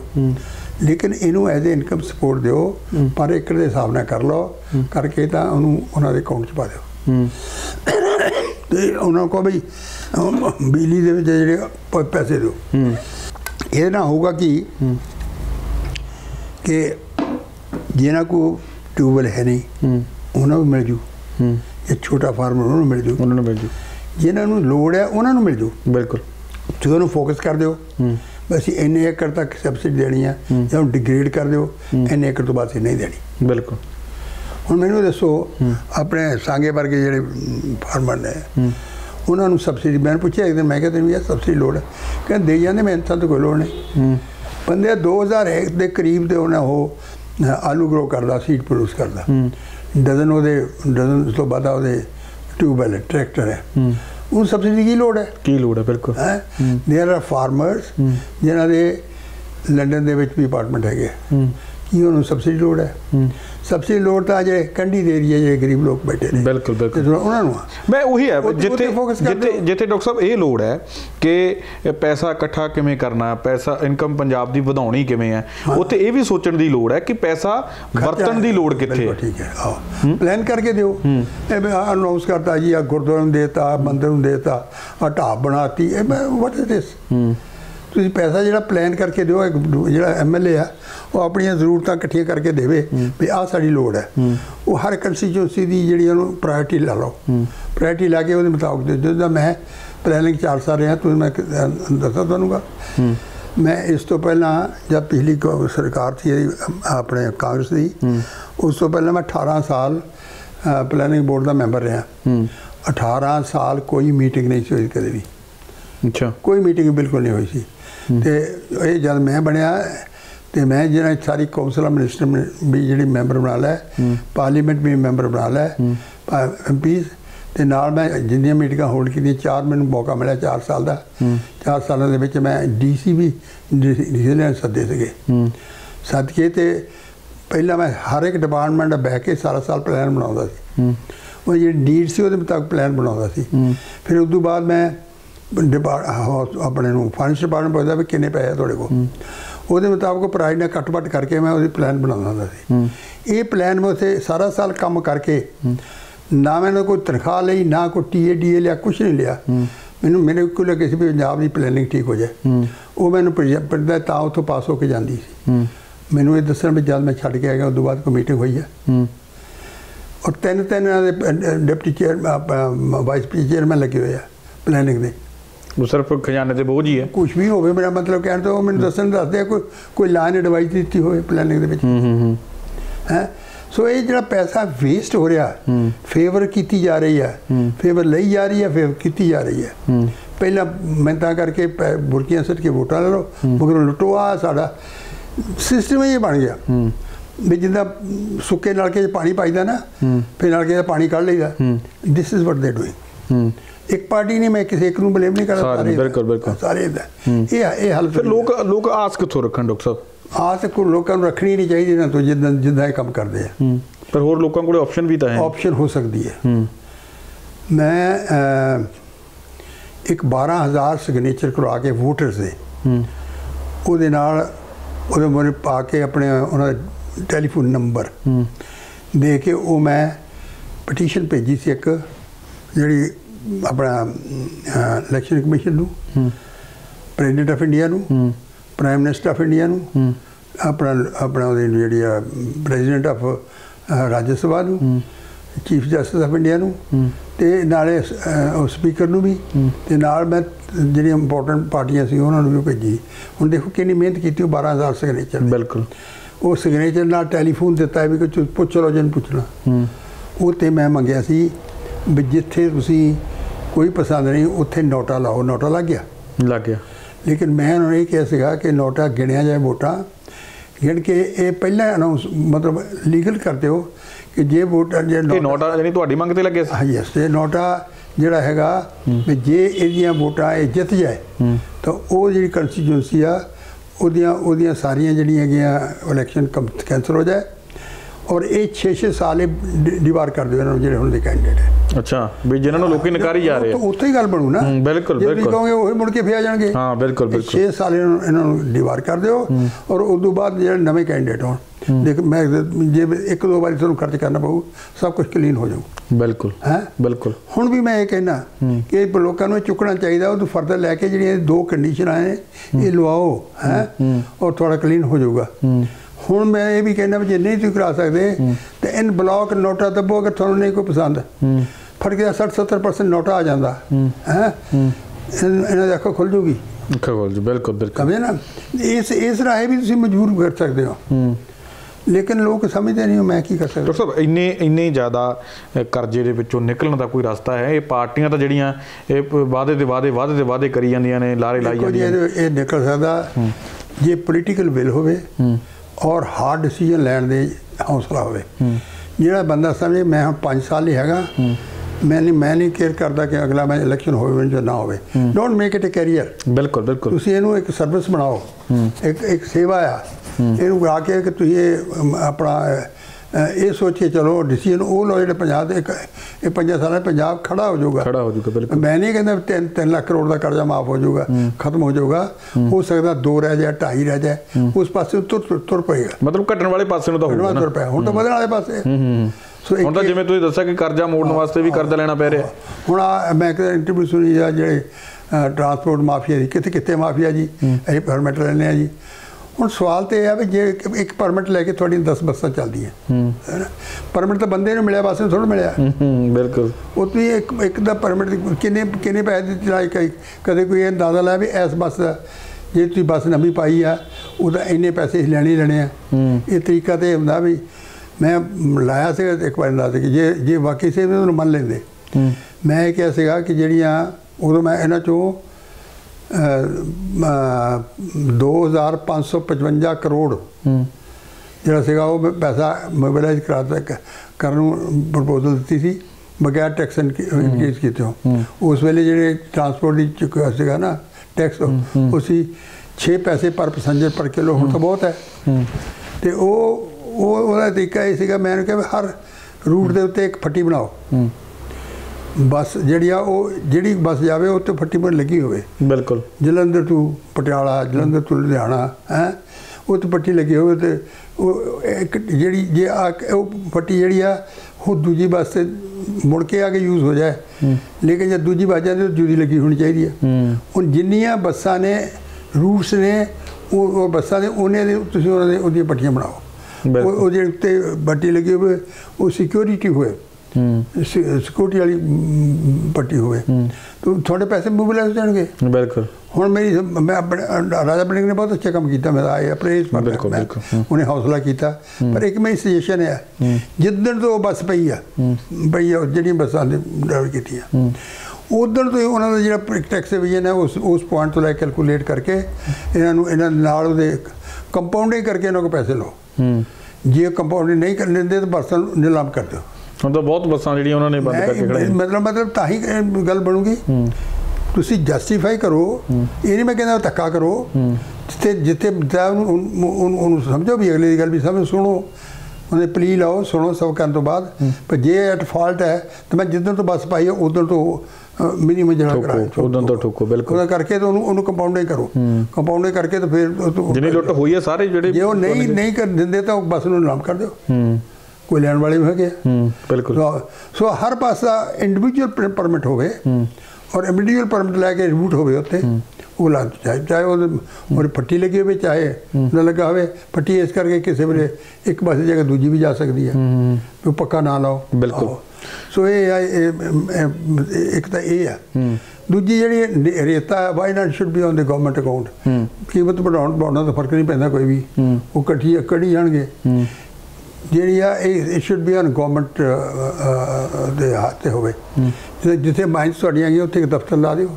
ਬਿਲਕੁਲ। ਇਹਦਾ ਲਾ ਤੋਂ ਨਾਲੇ ਰੋਜ਼ਗਾਰ ਬਣ ਜਾਏਗਾ। ਫੇਸ ਕਰਕੇ ਨਾਲ ਰੋਜ਼ਗਾਰ ਬਣ ਜਾਓ ਪੈਸੇ ਬਣਗੇ ਵਾਈ ਦੀ ਵਾਈ ਦੀ ਜਿਹੜੀ ਸ਼ਰਾਬ ਦੇ ਠੇਕੇ ਇਹ ਗਵਰਨਮੈਂਟ ਕਿਉਂ ਨਹੀਂ ਕਰਦੀ? ਅਗਰ ਹਰਿਆਣਾ ਕਰ ਸਕਦਾ ਤੁਸੀਂ ਕਿਉਂ ਨਹੀਂ ਤੁਸੀਂ ਕਿਉਂ ਨਹੀਂ ਕਰ ਸਕਦੇ? ਹੈ? ਔਰ ਸਾਡਾ ਜਿਹੜਾ ਇੱਥੋਂ ਰੈਵਨਿਊ ਆ ਇਹ 5-7 ਗੁਣਾ ਵੱਧ ਸਕਦਾ। ਇਹ ਤਾਂ ਉਦੋਂ ਵੱਧ ਸਕਦਾ। ਫਿਰ ਤੁਹਾਡਾ ਇਲੈਕਟ੍ਰੋਨਿਕ ਮੀਡੀਆ ਹੈ। ਹੂੰ।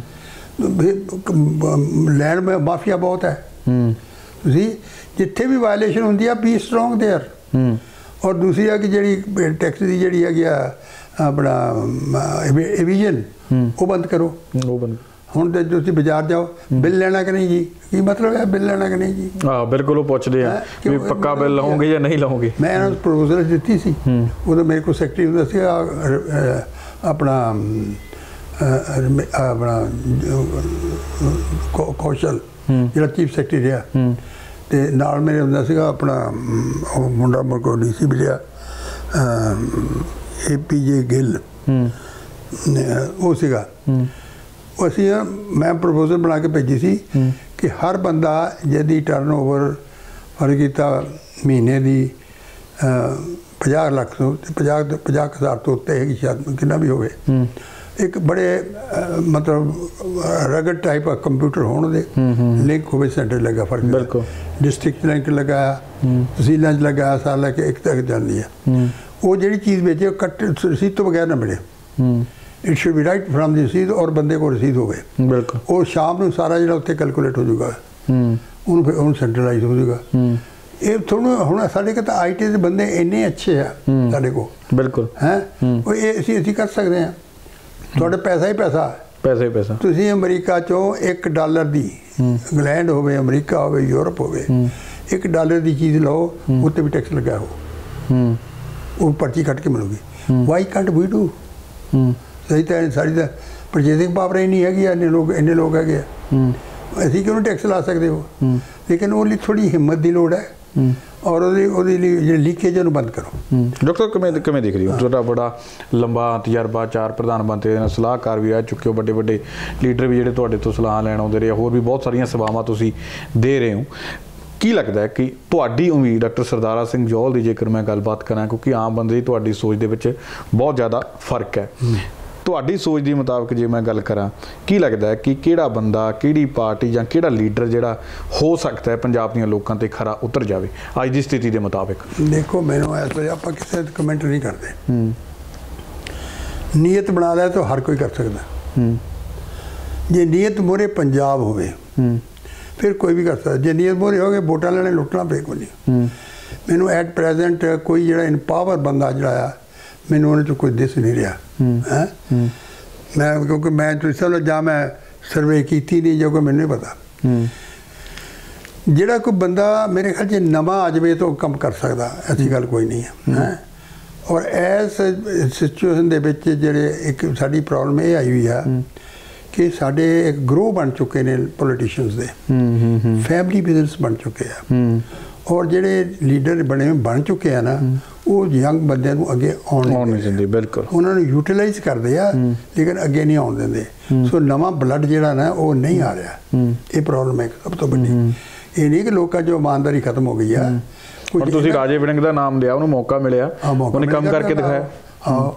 ਤੇ ਹੁਣ ਦੇਖੋ ਸਿੱਧੂ ਨੂੰ ਕਈ ਕਰਦੇ ਲਓ ਜੀ ਇਹ ਬੋਲਦਾ ਬਹੁਤ ਹੈ ਇਹ ਹੈ ਉਹ ਜੋ ਕਹਿੰਦਾ ਉਹ ਤਾਂ ਠੀਕ ਕਹਿੰਦਾ। ਹੂੰ ਬਿਲਕੁਲ। ਉਹ ਤੇ ਆਪ ਕਹਿੰਦਾ ਵੀ ਜਾਂ ਤਾਂ ਮੈਨੂੰ ਝੁਠਲਾ ਦਿਓ ਵੀ ਮੇਰੀਆਂ ਗੱਲਾਂ ਗਲਤ ਕਿਹੜੀ ਉਹਦਾ ਸਟਾਈਲ ਹੋਰ ਹੋ ਸਕਦਾ। ਹੂੰ।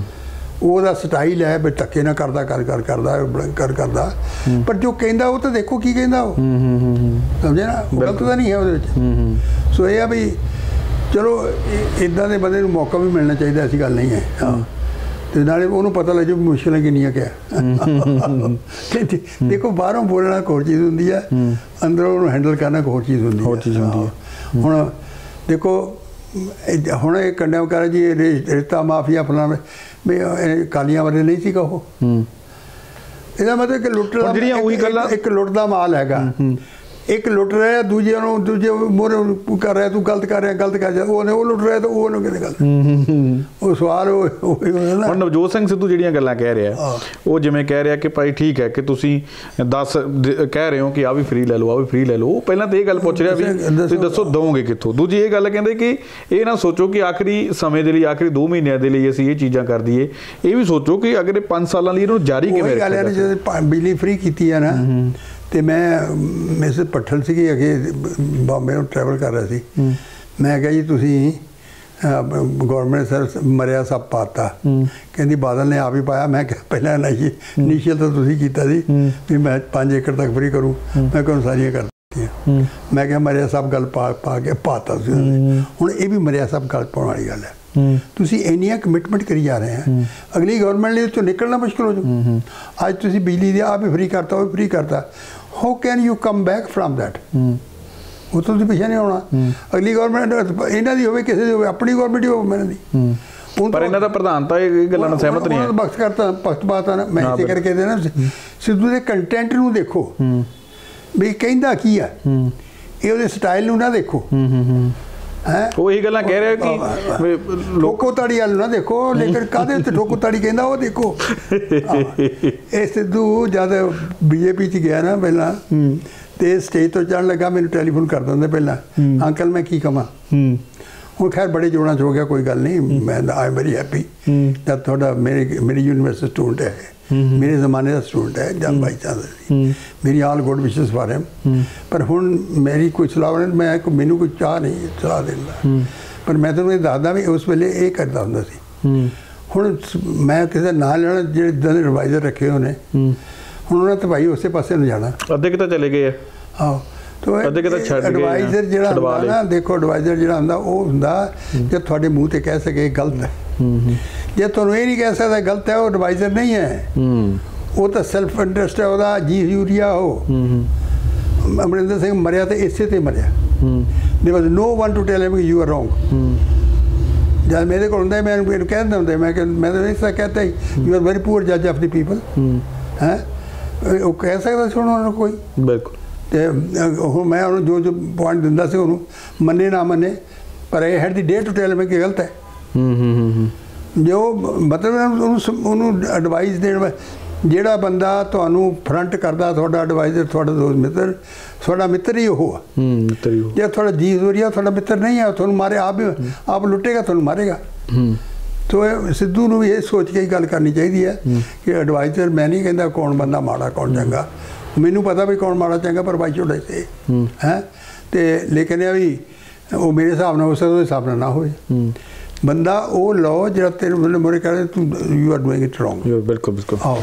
ਤੂੰ ਮੰਨੋ ਨਾ ਮੰਨੋ ਫਿਰ ਲੇਕਿਨ ਅੱਜ ਦੀ ਸਥਿਤੀ ਦੇ ਮੁਤਾਬਕ ਪੰਜਾਬ ਦੀ ਸਥਿਤੀ ਨਿਕਲਣ ਵਾਲੇ ਪਾਸੇ ਨੂੰ ਜਾਏਗੀ ਜਾਂ ਜਿਸ ਤਰੀਕੇ ਦੇ ਨਾਲ ਵਾਅਦੇ ਆ ਉਹ ਹੋਰ ਦੇਖੋ, ਜਿਸ ਫਸੇਗੀ। ਤਰੀਕੇ ਨਾਲ ਜਾ ਰਹੇ ਤੇ ਹੋਰ ਫਸੇਗੀ। ਮੈਨੂੰ ਜੋ ਮੈਂ ਦੇਖ ਰਿਹਾ ਵੀ 11th ਆਵਰ ਤੇ ਸਬਸਿਡੀਆਂ ਦੇਣ ਨਾਲ ਕੋਈ ਵੋਟਾਂ ਨਹੀਂ ਆਉਂਦੀਆਂ। ਹੂੰ। ਕੁਝ ਸੈਕਸ਼ਨ ਦੀਆਂ ਵੋਟਾਂ ਆ ਜਾਣਗੀਆਂ ਕੁਝ ਦੀਆਂ ਕੋਈ ਜੀ ਨਹੀਂ ਲੋਕ ਐਂਟੀ ਵੀ ਹੋਣਗੇ। ਹੂੰ। ਤੇ ਜਿੱਦਾਂ ਹੁਣ ਬੀਜੇਪੀ ਦੀ ਗੱਲ ਕਰਦੇ ਆ ਇਹਨਾਂ ਨੂੰ ਜੀ ਇੱਕ ਵੋਟ ਨਹੀਂ ਮਿਲੀ ਮੈਂ ਕਿਹਾ ਨਾ ਮਿਲੇ ਤਾਂ ਮੈਂ ਕਦ ਕਹਿੰਦਾ ਮਿਲੇ ਜਾਂ ਨਾ ਮਿਲੇ ਲੇਕਿਨ ਇਹਦਾ ਰਿਐਕਸ਼ਨ ਵੀ ਹੋ ਸਕਦਾ। ਹੂੰ। ਸਮਝੇ ਨਾ? ਜਿਹਦਾ ਉਹਨਾਂ ਲੀਡਰ ਨੂੰ ਬੋਲਣ ਨਹੀਂ ਦਿੰਦੇ ਇਹਦੇ ਘਰ ਗੋਹਾ ਸਿੱਟਦਾ ਇਹਦੇ ਮੂੰਹ ਨੂੰ ਧਰਨਾ ਲਾਤਾ ਉਹ ਮੀਟਿੰਗ ਨਹੀਂ ਹੋਣ ਦੇਣੀ। ਇਹਦਾ reverse action has a reaction also ਕੁਝ ਲੋਕ ਜਿਹੜੇ। ਕਰ ਜਾਂਦੇ ਸੋਚ ਜਾਂਦੇ। ਨਹੀਂ ਨਹੀਂ ਕੋਈ ਕਮਿਊਨਿਟੀ ਆਫਟਰ ਆਲ ਹੈ ਤੇ ਉਹਦਾ ਰਿਐਕਸ਼ਨ ਹੋ ਕੇ ਉਹਨਾਂ ਦੀ ਪੋਜੀਸ਼ਨ ਇਲੈਕਸ਼ਨ ਵਿੱਚ ਸਟਰੋਂਗਰ ਵੀ ਹੋ ਸਕਦੀ ਹੈ। ਹੂੰ। ਇਹ ਕਾਂਗਰਸੀ ਹੁਣ ਹੋ ਸਕਦਾ ਅੱਗੇ ਨੂੰ ਬੈਟਰ ਹੋ ਜਾਏ। ਪਰ ਸਵਾਲ ਤਾਂ ਇਹ ਹੈ ਕਿ ਇਸ ਪੋਜੀਸ਼ਨ 'ਚ ਹੈ ਕਿ ਆਪਣਾ ਗਵਰਨਮੈਂਟ ਬਣਾ ਲੈਣਗੇ। ਗਵਰਨਮੈਂਟ ਅਹ, ਆਪਣਾ ਮੇਨ ਤਾਂ ਇਹੀ ਹੈ ਨਾ ਡਾਕਟਰ ਜਿਹੜਾ- ਆਪਣਾ ਅਹ, ਸੁਖਬੀਰ ਬਾਦਲ ਹੈ ਉਹ ਹੁਣ ਜਿਸ ਸਪੀਡ ਨਾਲ ਲੱਗਾ ਹੋਇਆ ਕਿ ਆਪਣੇ ਨੂੰ ਰੀਸਟਰਕਟ ਕਰਨ ਲੱਗਾ ਹੋਇਆ ਦੇਖਣਾ ਆਇਆ ਵੀ ਉਸ ਵੇਲੇ ਰੀਸਟਰਕਟ ਹੁੰਦਾ ਕਿ ਨਹੀਂ ਹੁੰਦਾ। ਹੈ। 83 ਸੀਟਾਂ ਤੋਂ ਉਹਨਾਂ ਨੇ ਐਲਾਨ ਵੀ ਦਿੱਤੀਆਂ। ਉਹਨਾਂ ਦੀ ਅਕਾਲੀ ਦਲ ਟੁੱਟਿਆ ਵਿੱਚੋਂ। ਇਹ ਵੀ ਟੁੱਟੇ ਹੋਇਆ ਹੁਣ ਅਮਰਿੰਦਰ ਸਿੰਘ ਨੇ ਇੱਕ ਨਵਾਂ ਹੀ ਸ਼ੋਸ਼ਾ ਖੜਾ ਕਰ ਲਿਆ। ਲੋਕ ਪੰਜਾਬ ਪਾ- ਪੰਜਾਬ ਲੋਕ ਪਾਰਟੀ ਆਈ ਡੋਨਟ ਨੋ ਕਿ ਉਹਦੀ ਪੰਜਾਬ ਲੋਕ ਕਾਂਗਰਸ। ਕੋ ਕਾਂਗਰਸ ਜਿਹੜਾ ਹੈ ਉਹਦੀ ਕੀ ਉਹਦੀ ਜੜ੍ਹਾਂ ਹੈਗੀਆਂ ਕਿਤੇ ਕਿ ਨਹੀਂ ਹੈਗੀਆਂ? ਮੁਕੋ ਐਮਐਲਏ ਤਾਂ ਮੈਨੂੰ ਨਖੜਾ ਲੱਗਦਾ ਸੀ। ਨਹੀਂ ਇੱਕ ਵੀ ਹੈ ਨਹੀਂ। ਅੱਜ ਤਾਂ ਅੱਜ ਦੀ ਡੇਟ ਦੇ ਵਿੱਚ ਤਾਂ ਪਰਨੀਤ ਕੌਰ ਵੀ ਨਹੀਂ ਹੈਗੀ। ਯਾਨੀ ਮੈਂ ਇਹ- ਜੇ ਜੇ ਉਹਦੇ ਕੋਲ 12 ਐਡਵਾਈਜ਼ਰ ਰੱਖੇ ਹੋਇਆ ਤਾਂ ਕੋਈ ਤੈਨੂੰ ਕਹਿੰਦਾ ਵੀ ਤੂੰ ਗਲਤ ਕਰ ਰਿਹਾ। ਹੂੰ। ਜੇ ਬੰਦਾ ਰਿਜ਼ਾਈਨ ਕਰਕੇ ਉਦੋਂ ਸੌਰੀ ਹੁਣ ਛੱਡ ਕੇ ਚੀਫ ਮਿਨਿਸਟਰ ਨੂੰ ਟਿਕਾ ਰਹਿੰਦਾ ਵੀ ਮੈਂ ਤਾਂ ਕਾਂਗਰਸ ਪਾਈ ਆ ਜੋ ਜ਼ਿੰਮੇਵਾਰੀ ਮੈਂ ਕਰ ਲੂੰਗਾ ਬਿਲਕੁਲ। He would have place very high ਹੂੰ। ਉਹਨੂੰ ਸੈਂਟਰਲ ਕਮੇਟੀ ਕਿਤੇ ਲਾ ਲੈਣਾ ਸੀ ਇਹਨੇ। ਹੂੰ। ਹੈ? ਤੇ ਉਹਨੂੰ ਉਹਨੂੰ ਸਭ ਕੁਝ ਮਿਲ ਜਾਣਾ ਸੀਗਾ ਉਹਦੀ ਇੱਜ਼ਤ ਬਣ ਜਾਣੀ ਸੀ ਉਹਨਾਂ ਹੁਣ ਉਹਨੇ ਆਪਣੀ ਇੱਜ਼ਤ ਕਰਾਈ ਬਹੁਤ ਬੇਆਬਰੂ ਹੋ ਕਰ ਤੇਰੇ ਕੂਚੇ ਸਾਹਮਣੇ ਨਿਕਲੇ। ਹੁਣ ਕੀ ਕਰੂਗਾ ਉਹ? ਹੂੰ ਮੈਨੂੰ ਕੋਈ ਤੋਂ ਜੇ ਇੱਕ ਵੀ ਇੱਕ ਅੱਧੀ ਕੋਈ ਆਪਣੀ ਭਾਵੇਂ ਲੈ ਜਾ ਤੇ ਲੈ ਜਾ ਨਹੀਂ ਤਾਂ ਮੈਨੂੰ ਤਾਂ ਜਾਪਦਾ ਨਹੀਂ ਉਹਦੇ ਨਾਲ ਕੋਈ ਹੋਰ ਕੋਈ ਦੇ ਜੋ ਹੋਰ ਕੋਈ ਲੱਗਦਾ ਨਹੀਂ ਆਹੋ। ਉਹ ਪਹਿਲੇ ਤਾਂ ਗੱਲ ਹੈ ਲੜਨ ਵਾਲਾ ਵੀ ਕੋਈ ਜਾਣਾ ਵੀ ਤਾਂ ਚਾਹੀਦਾ ਨਾ। ਆਹੋ ਮੈਂ ਹੁਣ ਜਿਸ ਤਰੀਕੇ ਦੇ ਨਾਲ ਨਵਜੋਤ ਸਿੰਘ ਸਿੱਧੂ ਨੇ ਫੈਸਲਾ ਕੀਤਾ ਹੈ ਕਿ ਭਾਈ ਚੰਗੇ ਲੋਕਾਂ ਨੂੰ ਟਿਕਟ ਦਵਾਂਗੇ ਤੇ ਦੂਜੇ ਨੇ ਕੱਟਾਂਗੇ ਉਹਦੇ ਵਿੱਚ ਹੋ ਸਕਦਾ ਹੈ ਕਿ ਉਹਦੇ ਨਾਲ ਚੱਲ ਜਾਣ ਟੁੱਟ ਕੇ। ਯੈਸ ਹੋ ਸਕਦੇ ਆ। ਲੇਕਿਨ ਇਹਦੇ ਵਿੱਚ ਗੱਲ ਇਹ ਆ ਕਿ ਸਿੱਧੂ ਅਗਰ ਇਸ ਚੀਜ਼ ਕੋ ਆਫਟਰ ਕਾਂਗਰਸ ਪ੍ਰੈਜ਼ੀਡੈਂਟ ਦਾ ਮਹਿਨਾ ਹੁੰਦਾ ਜੇ ਕਈ ਰਾਈਟ ਬੰਦਿਆਂ ਨੂੰ ਪੈਦੇ ਇਹ ਦੇਖ ਲਵੇ ਦੀ ਕਰਪਸ਼ਨ ਤਾਂ ਨਹੀਂ ਇਹ ਤੇ ਕ੍ਰਾਈਮ ਤਾਂ ਨਹੀਂ। ਕਲੀਨ ਬੰਦੇ ਲੈ ਭਾਵੇਂ ਨਵੇਂ ਐਬਸੋਲੂਟਲੀ ਨਵੇਂ ਲਿਆਵੇ ਬਿਲਕੁਲ ਬਿਲਕੁਲ ਬਿਲਕੁਲ। ਉਹ ਗਵਰਨਮੈਂਟ ਚੱਲ ਜਾਏਗੀ। ਹੂੰ। ਲੋਕ ਪਾਉਣਗੇ ਵੋਟਾਂ ਚੰਗੇ ਵੋਟਾਂ ਦਾ ਪਤਾ ਹੁੰਦਾ ਚੰਗੇ ਬੰਦੇ ਦਾ ਵੀ ਇਹ ਕਲੀਨ ਬੰਦਾ ਚੰਗਾ ਹੈਗਾ। ਕਲੀਨ ਬੰਦਾ ਚੰਗਾ। ਫਿਰ ਤੁਸੀਂ ਉਹ ਫਾਈਂਡ ਕੇ ਕਰ ਲਾਉਂਦੇ ਹੋ ਹੂੰ। ਹੁਣ ਇੱਕ ਲੋਕ ਅਧਿਕਾਰ ਲਹਿਰ ਚੱਲੀ ਸੀ ਜਿਹਨੂੰ ਮੈਂ ਇਨਵੈਂਟਰੀ ਕੀਤਾ ਸੀ। ਕਰ ਮੈਂ ਤਾਂ ਉਹਨਾਂ ਦਾ ਮੇਰੇ ਡਿਫਰੈਂਸ ਹੋ ਗਿਆ ਪਿੱਛੇ ਹਟ ਗਿਆ। ਪਰ ਉਹ ਵੀ ਬੜੇ ਜ਼ੋਰ ਨਾਲ ਲੱਗੇ ਹੋਏ ਆ। ਫੋਟੋਆਂ ਉਹ ਵੀ ਲੈ ਜਾਣਗੇ। ਹੂੰ। ਮੈਨੂੰ ਇਹ ਜਾਪਦਾ ਆ ਕਿ ਸਾਰੀਆਂ ਪਾਰਟੀਆਂ ਥੋੜੇ ਹਰ ਵੋਟ ਤਾਂ ਪੈਣੀ ਆ। ਵੋਟ ਤਾਂ ਪੈਣੀ ਥੋੜੀਆਂ ਪੈਣ। ਜ਼ਿਆਦੀਆਂ ਪੈਣ ਵੋਟਾਂ ਤਾਂ ਪੈਣੀਆਂ ਹੀ ਆ। ਉਹ ਜਿੱਤਣਾ ਵੀ ਹੈ ਹਾਰਨਾ ਵੀ ਹੈ ਮੈਨੂੰ ਤਾਂ ਸਾਰੀਆਂ ਪਾਰਟੀਆਂ ਵਿੱਚ ਜਿਹੜੀਆਂ ਵੋਟਾਂ ਬਣੀਆਂ ਜਾਣੀਆਂ ਸੀਟਾਂ ਔਰ it may be hung assembly. ਬਣੀ। ਹੰਗ ਅਸੈਂਬਲੀ ਹੁੰਦੀ ਹੈ ਗਾਂ ਦੇਖਦੇ ਆ ਕਿ ਆਪਣੇ ਅਸੂਲ ਕਾਨੂੰਨ ਨੂੰ ਤੋੜ ਕੇ ਇਹ ਜੁਆਇਨ ਕਰਦੇ ਆ ਇੱਕ ਦੂਜੇ ਨਾਲ ਕਿ ਨਹੀਂ ਕਰਦੇ ਆ ਹੈਂ। ਤੇ ਜੇ ਨਾ ਕੀਤਾ ਤਾਂ ਫਿਰ ਮੈਨੂੰ ਤੇ ਜਾਪਦਾ ਵੀ ਤੇ ਗਵਰਨਰ ਰੂਲ ਹੋ ਜਾਣਾ ਇੱਕ ਵਾਰੀ ਫੇ ਡਾਕਟਰ ਸਾਹਿਬ ਇਹ ਇੱਕ ਇੱਕ ਗੱਲ ਇਹ ਵੀ ਸੋਚਣ ਵਾਲੀ ਹੈਗੀ ਆ ਵੀ ਕਿਤੇ ਨਾ ਕਿਤੇ ਜਿਹੜੇ ਲੀਡਰ ਆ ਉਹ ਜੋੜ ਤੋੜ ਦੀ ਸਿਆਸਤ 'ਚ ਪੈ ਗਏ ਆ ਝੂਠੇ ਵਾਅਦਿਆਂ 'ਚ ਪੈ ਗਏ ਆ। ਉਹਨਾਂ ਨੇ ਤਾਂ ਦੇਖੋ ਜੀ ਆਪਣੀ ਸਰਕਾਰ ਬਣਾਉਣੀ ਆ ਉਹ ਕੁਝ ਵੀ ਕਰਨਗੇ। ਕਿਤੇ ਨਾ ਕਿਤੇ ਆਪਣੇ ਲੋਕਾਂ ਨੂੰ ਵੀ ਚਾਹੀਦਾ ਲੋਕ ਵੀ ਇਹੀ ਗੱਲਾਂ ਸੋਚ ਰਹੇ ਸਿਰਫ ਵੀ ਦੇਖੋ ਜੀ ਫਲਾਣਾ ਲੀਡਰ ਕੀ ਕਰ ਰਿਹਾ ਫਲਾਣਾ ਲੀਡਰ ਕਿਵੇਂ ਸਰਕਾਰ ਬਣਾਉ ਕਿਹੜਾ ਕਿੱਧਰ ਜਾਊ ਇਹ ਨਹੀਂ ਸੋਚ ਰਹੇ ਕਿ ਪੰਜਾਬ ਲਈ ਜਿਸ ਤਰੀਕੇ ਨਾਲ ਆਪਾਂ ਗੱਲ ਕਰਕੇ ਹਟੇ ਆ ਇੰਨਾ ਕਰਜ਼ਾ ਪੰਜਾਬ ਤੇ ਵਿੱਤੀ ਸੰਕਟ ਹੋਰ ਬਹੁਤ ਸਾਰੀਆਂ ਗੱਲਾਂ ਤੁਸੀਂ ਦੱਸੀਆਂ ਨੇ। ਉਹਨਾਂ ਦੇ ਹੱਲ ਲਈ ਕਿਹੜਾ ਲੀਡਰ ਅੱਗੇ ਆ ਸਕਦਾ ਉਹ ਲੋਕ ਘੱਟ ਸੋਚਦੇ ਦੇਖੋ ਗੱਲ ਲੋਕਾਂ ਨੂੰ ਇਹ ਇਹ ਹੋਣਾ ਚਾਹੀਦਾ ਕਿ ਭਈ ਜਿਹੜੇ ਤੁਸੀਂ ਵਾਅਦੇ ਕਰਦੇ ਆ ਸਾਨੂੰ ਬਜਟ ਦਿਖਾਓ। ਹੂੰ ਬਿਲਕੁਲ। ਇਹ ਸਭ ਦੱਸੋ ਆ ਸਾਡੀ ਇਨਕਮ ਦੇ ਸੋਰਸ ਹੈ। ਆ ਸਾਡੀ ਐਕਸਪੈਂਡੀਚਰ ਹੈ। ਪੰਜਾਂ ਸਾਲਾਂ ਲਈ ਇੱਕ ਸਾਲ ਦਾ ਬਣਾ ਕੇ ਦਿਖਾ ਲਓ ਅਸੀਂ ਇਸ ਟ੍ਰੇਨ ਤੇ ਚੱਲਾਂਗੇ। ਫਿਰ ਅਸੀਂ ਮੰਨਾਂਗੇ ਤੁਸੀਂ ਸਾਨੂੰ ਚੀਜ਼ਾਂ ਦਿਓਗੇ। ਹੁਣ ਜਿਵੇਂ ਇਹੀ ਇਹੀ ਇਹੀ ਗੱਲ ਕਰ ਨਵਜੋਤ ਨੇ ਜਿਹੜੇ। ਬੰਦੇ ਗੁਟਕੇ ਦੀ ਸੌ ਖਾ ਕੇ ਮੈਂ ਦੋ ਹਫ਼ਤੇ ਵਿੱਚ ਸਾਫ਼ ਕਰ ਦੂੰਗਾ। ਬਿਲਕੁਲ। ਉਹ ਨਹੀਂ ਕਰ ਸਕੇ। ਜਾਂ ਉਹਨਾਂ ਨੇ ਸਿਰਫ ਵੋਟਾਂ ਵੋਟੇ ਮੰਗੀਆਂ। ਮੈਂ ਤੁਹਾਨੂੰ ਖੰਡ ਦਊਂਗਾ ਮੈਂ ਤੁਹਾਨੂੰ ਚਾਹ ਪੱਤੀ ਦਊਂਗਾ ਇਹ ਤੁਹਾਨੂੰ ਮੋਬਾਈਲ ਦਊਂਗਾ। ਇਹ ਮੁੱਦੇ ਪੰਜਾਬ ਦੇ ਬਿਲਕੁਲ, ਬਿਲਕੁਲ। ਤਾਂ ਤੁਸੀਂ ਮੁੱਦੇ ਦੀ ਗੱਲ ਕਰੋ ਬਜਟ ਦੀ ਗੱਲ ਕਰੋ ਪੰਜਾਬ ਦੇ ਡਿਵੈਲਪਮੈਂਟ ਦੀ ਗੱਲ ਕਰੋ ਗੱਲ ਹੋਰ ਡਾਕਟਰ ਸਾਹਿਬ ਮੈਨੂੰ ਚੇਤੇ ਆਈ। ਐਮਪਲਾਇਮੈਂਟ ਐਮਪਲਾਇਮੈਂਟ ਕ੍ਰੀਏਸ਼ਨ ਦੀ ਗੱਲ ਕਰੋ। ਕੋਈ ਗੱਲ ਹੋਰ, ਐਜੂਕੇਸ਼ਨ ਹੈਲਥ ਨੂੰ ਇੰਪਰੂਵ ਕਰਨ ਦੀ ਗੱਲ ਕਰੋ। ਇਹ ਗੱਲ ਹੋਰ ਜਿਵੇਂ ਰੇਤ ਮਾਫੀਆ ਜਾਂ ਹੋਰ ਬਹੁਤ ਸਾਰੇ ਮਾਫੀਆ ਜਾਂ ਸ਼ਰਾਬ ਮਾਫੀਆ ਬਾਰੇ ਤਾਂ ਸਾਰੇ ਗੱਲਾਂ ਕਰਦੇ ਆ। ਜਿਵੇਂ ਤੁਸੀਂ ਗੱਲ ਕੀਤੀ ਸੀ ਨਾ ਤਾਂ ਆਪਾਂ ਐਜੂਕੇਸ਼ਨ ਬਾਰੇ ਕੋਈ ਗੱਲ ਕਰਦਾ ਨਾ ਹੀ ਕੋਈ ਹੈਲਥ ਕੇਅਰ ਬਾਰੇ ਕੋਈ ਗੱਲਬਾਤ ਹੈਲਥ ਸਿਸਟਮ ਬਾਰੇ ਵੀ ਨਹੀਂ ਕੋਈ ਗੱਲਬਾਤ ਕਰਦਾ। ਇਹ ਕੀ ਕਾਰਨ ਹੈ? ਕਾਰਨ ਇਹ ਹੈ ਕਿ ਇਹ ਸੈਕਟਰ ਦੇ ਵਿੱਚ ਜਦ ਇਹਦਾ ਇਹਦੀ ਇਹਦੀ ਇਹਦੀ ਖਰਾਬੀ ਹੁੰਦੀ ਜਾਂਦੀ ਆ ਇਹਦਾ ਪੱਠਾ ਬਹਿਦਾ ਜਾਂਦਾ ਉਹ ਸਾਇਲੈਂਟ ਹੈ। ਹੂੰ ਹੂੰ ਹੁਣ ਦੇ ਟੀਚਰਸ ਕਿੰਨੀਆਂ ਕਰ ਰਹੇ ਨੇ ਐਜੂਕੇਸ਼ਨ ਹੂੰ। ਇਹਦਾ ਮੈਂ ਸਾਬਿਤ ਦਿੰਦਾ ਕਿ ਤੁਸੀਂ ਤੁਹਾਡੀ ਜਿਹੜੀ ਐਜੂਕੇਸ਼ਨ ਉਹ ਵਰਥਵਾਈਲ ਨਹੀਂ ਹੈ। ਹੈ? ਸਰਕਾਰੀ ਹਸਪਤਾਲਾਂ ਦੇ ਵਿੱਚ ਵੀ ਮੈਨੂੰ ਬੜਾ ਇੱਕ ਨਾ ਇਹ ਹਸਪਤਾਲ ਜਿਹੜੇ ਤੋਂ ਸਵਾਲ ਹੈ ਗਰੀਬ ਨੂੰ ਤਾਂ ਮਰਨਾ ਸਸਤਾ ਪੈਂਦਾ ਇਲਾਜ ਕਰਾਉਣ ਨੂੰ। ਮਨ ਸਸਤਾ ਪੈਂਦਾ। Why everybody is not everybody the tax ਕਿਉਂ ਨਹੀਂ ਕੀਤਾ ਜਾਂਦਾ ਔਰ ਐਵਰੀਬਾਡੀ ਨੂੰ ਜਿਹੜੀ ਹੈ ਹੈਲਥ ਫਰੀ ਕਿਉਂ ਨਹੀਂ ਹੈ? ਬਾਹਰਲੇ ਮੁਲਕਾਂ ਦੇ ਵਿੱਚ ਅਗਰ ਤੁਹਾਡਾ 5 5 ਰੁਪਏ ਦੀ ਡਾਲਰ ਦੀ ਵੀ ਚੀਜ਼ ਹੈ ਤੁਹਾਡੇ ਤੇ ਟੈਕਸ ਲੱਗਦਾ। ਟੈਕਸ ਸਕਦਾ but then you are you are ਤੁਹਾਨੂੰ ਕੋਈ ਵਰੀ ਨਹੀਂ ਕਿ ਮੈਨੂੰ ਮੇਰੀ ਹੈਲਥ ਨੂੰ ਕੋਈ ਨਹੀਂ ਦੇਖਾ ਤੁਹਾਨੂੰ ਕੋਈ ਵਰੀ ਨਹੀਂ ਕਿ ਮੇਰੇ ਬੱਚੇ ਤੁਹਾਡਾ ਪੈਸਾ ਤੁਹਾਨੂੰ ਵਾਪਸ ਮਿਲਦਾ ਅਲੱਗ-ਅਲੱਗ ਰੂਪ ਦੇ ਵਿੱਚ ਹੀ। ਇੱਥੇ ਪਿੱਛੇ ਸਰਕਾਰੀ ਵੀ ਦੇਖਿਆ ਇੱਕ ਜੌਬ ਨਵੀਂ ਆਪਣੇ ਸਰਚ ਕਰਨ ਲਈ ਵੀ ਤੁਹਾਨੂੰ ਲੋਸ ਮਿਲਦਾ। ਹੂੰ ਹੂੰ। ਤੁਸੀਂ ਆਊਟ ਆਫ ਜੌਬ ਹੋ ਗਏ you are searching for it ਤੁਹਾਨੂੰ ਉਹਦੇ ਉਹਦੇ ਵੀ ਪੈਸੇ ਮਿਲਦੇ ਆ। ਇਹ ਤਾਂ ਬੜੇ ਦੁੱਖ ਨਾਲ ਕਹਿਣਾ ਪੈ ਰਿਹਾ ਵੀ ਸਰਕਾਰੀ ਹਸਪਤਾਲ ਤਾਂ ਜਿਹੜੇ ਆ ਉਹ ਜਵਾਬ ਦੇਣ ਨੂੰ ਰੱਖੇ ਆ। ਕਿਸੇ ਦਾ ਐਕਸੀਡੈਂਟ ਹੋ ਕੇ ਚਲ ਜਾਂਦਾ ਜਾਂ ਕੋਈ ਬੰਦਾ ਸਰਕਾਰੀ ਹਸਪਤਾਲ ਦੇ ਵਿੱਚ ਲੈ ਜਾਓ ਤਾਂ 10-15 ਮਿੰਟ ਰੱਖ ਕੇ ਉਹਨੂੰ ਜਵਾਬ ਦੇ ਦਿੰਦੇ ਆ। ਕੋਈ ਕਹਿ ਦਿੰਦਾ ਜੀ ਫਰੀਦਕੋਟ ਲੈ ਜਾਓ ਕੋਈ ਕਹਿੰਦਾ ਲੁਧਿਆਣੇ ਲੈ ਜਾਓ ਕੋਈ ਕਹਿੰਦਾ ਚੰਡੀਗੜ੍ਹ ਲੈ ਜਾਓ। ਇਲਾਜ ਤੇ ਕੋਈ ਕਰਦਾ ਹੀ ਨਹੀਂ ਸਰਕਾਰੀ ਹਸਪਤਾਲਾਂ ਦੇ ਵਿੱਚ। ਇਲਾਜ ਕਰਨ ਦੀ ਉਹਨਾਂ ਦੀ ਕਪੈਸਿਟੀ ਹੈ ਨਹੀਂ। ਇਨਫਰਾਸਟ੍ਰਕਚਰ ਹੈ ਨਹੀਂ। ਉੱਥੇ ਤੱਕ ਕਲੈਨਲੀਨੈਸ ਨਹੀਂ ਹੈ। ਜਿਹੜਾ ਇਹ ਬੰਦਾ ਮਾੜੇ ਮੋਟੇ ਵੀ ਜੇ ਜਾਨ ਹੈ ਉਹ ਤਾਂ ਸਰਕਾਰੀ ਹਸਪਤਾਲ ਜਾਣਾ ਹੀ ਨਹੀਂ ਚਾਹੁੰਦਾ। ਇਹ ਤਾਂ ਗਰੀਬ ਵਿਚਾਰਾ ਟੁੱਟਿਆ ਜਿਹੜਾ ਬਿਲਕੁਲ ਹੀ ਉਹਨੂੰ ਉੱਥੇ ਜਾਣਾ ਪੈਂਦਾ। ਉਹਦੀ ਕੋਈ ਜਾਂ ਜਿਹਨੇ ਐਮਐਲਆਰ ਪਰਚੇ ਲਈ ਕਟਵਾਉਣੀ ਹੋ ਜਾਂਦਾ। ਉਹੀ ਉਹ ਉਹਨੇ ਕਹਿਣਾ ਜੀ ਇਹ ਇਹ ਤਾਂ ਇਹ ਤਾਂ ਪੁਲਿਸ ਦਾ ਕੇਸ ਹੈ। ਹੂੰ ਹੂੰ ਹੂੰ ਹੂੰ ਇਲਾਜ ਮਗਰੋਂ ਕਰਨਾ ਪਹਿਲਾਂ ਪੁਲਿਸ ਦਾ ਕੇਸ ਪਹਿਲਾਂ ਪੁਲਿਸ ਦਾ ਕੇਸ ਬਿਲਕੁਲ ਬਿਲਕੁਲ। ਚਲੋ ਐਨੀਵੇ ਮੇਰਾ ਮਤਲਬ ਪ੍ਰਾਇੋਰਟੀ ਹੋਣੀ ਚਾਹੀਦੀ ਆ। ਐਗਰੀਕਲਚਰ ਐਜੂਕੇਸ਼ਨ ਹੈਲਥ ਹੂੰ। ਬਿਲਕੁਲ। ਔਰ ਫੋਕਸ ਹੋਣਾ ਚਾਹੀਦਾ ਕ੍ਰੀਏਟ ਐਮਪਲੋਇਮੈਂਟ ਹੂੰ। ਉਹ ਹੈ ਨਹੀਂ। ਉਹ ਹੈ ਨਹੀਂ। ਮੈਂ ਨਾ ਜ਼ਿਆਦਾ ਇਲੈਕਸ਼ਨਾਂ ਤੋਂ ਪਹਿਲਾਂ ਹੂੰ। ਇੱਕ ਪ੍ਰੋਗਰਾਮ ਬਣਾਇਆ ਸੀਗਾ। ਹੂੰ। ਲੈਕਚਰ ਦਿੱਤਾ ਸੀ ਇਨਫੈਕਟ ਉਹਦੇ ਕੋਲ 1.5 200 ਬੰਦਾ ਆਇਆ ਸੀ ਇੰਡੀਆ ਚੋਂ।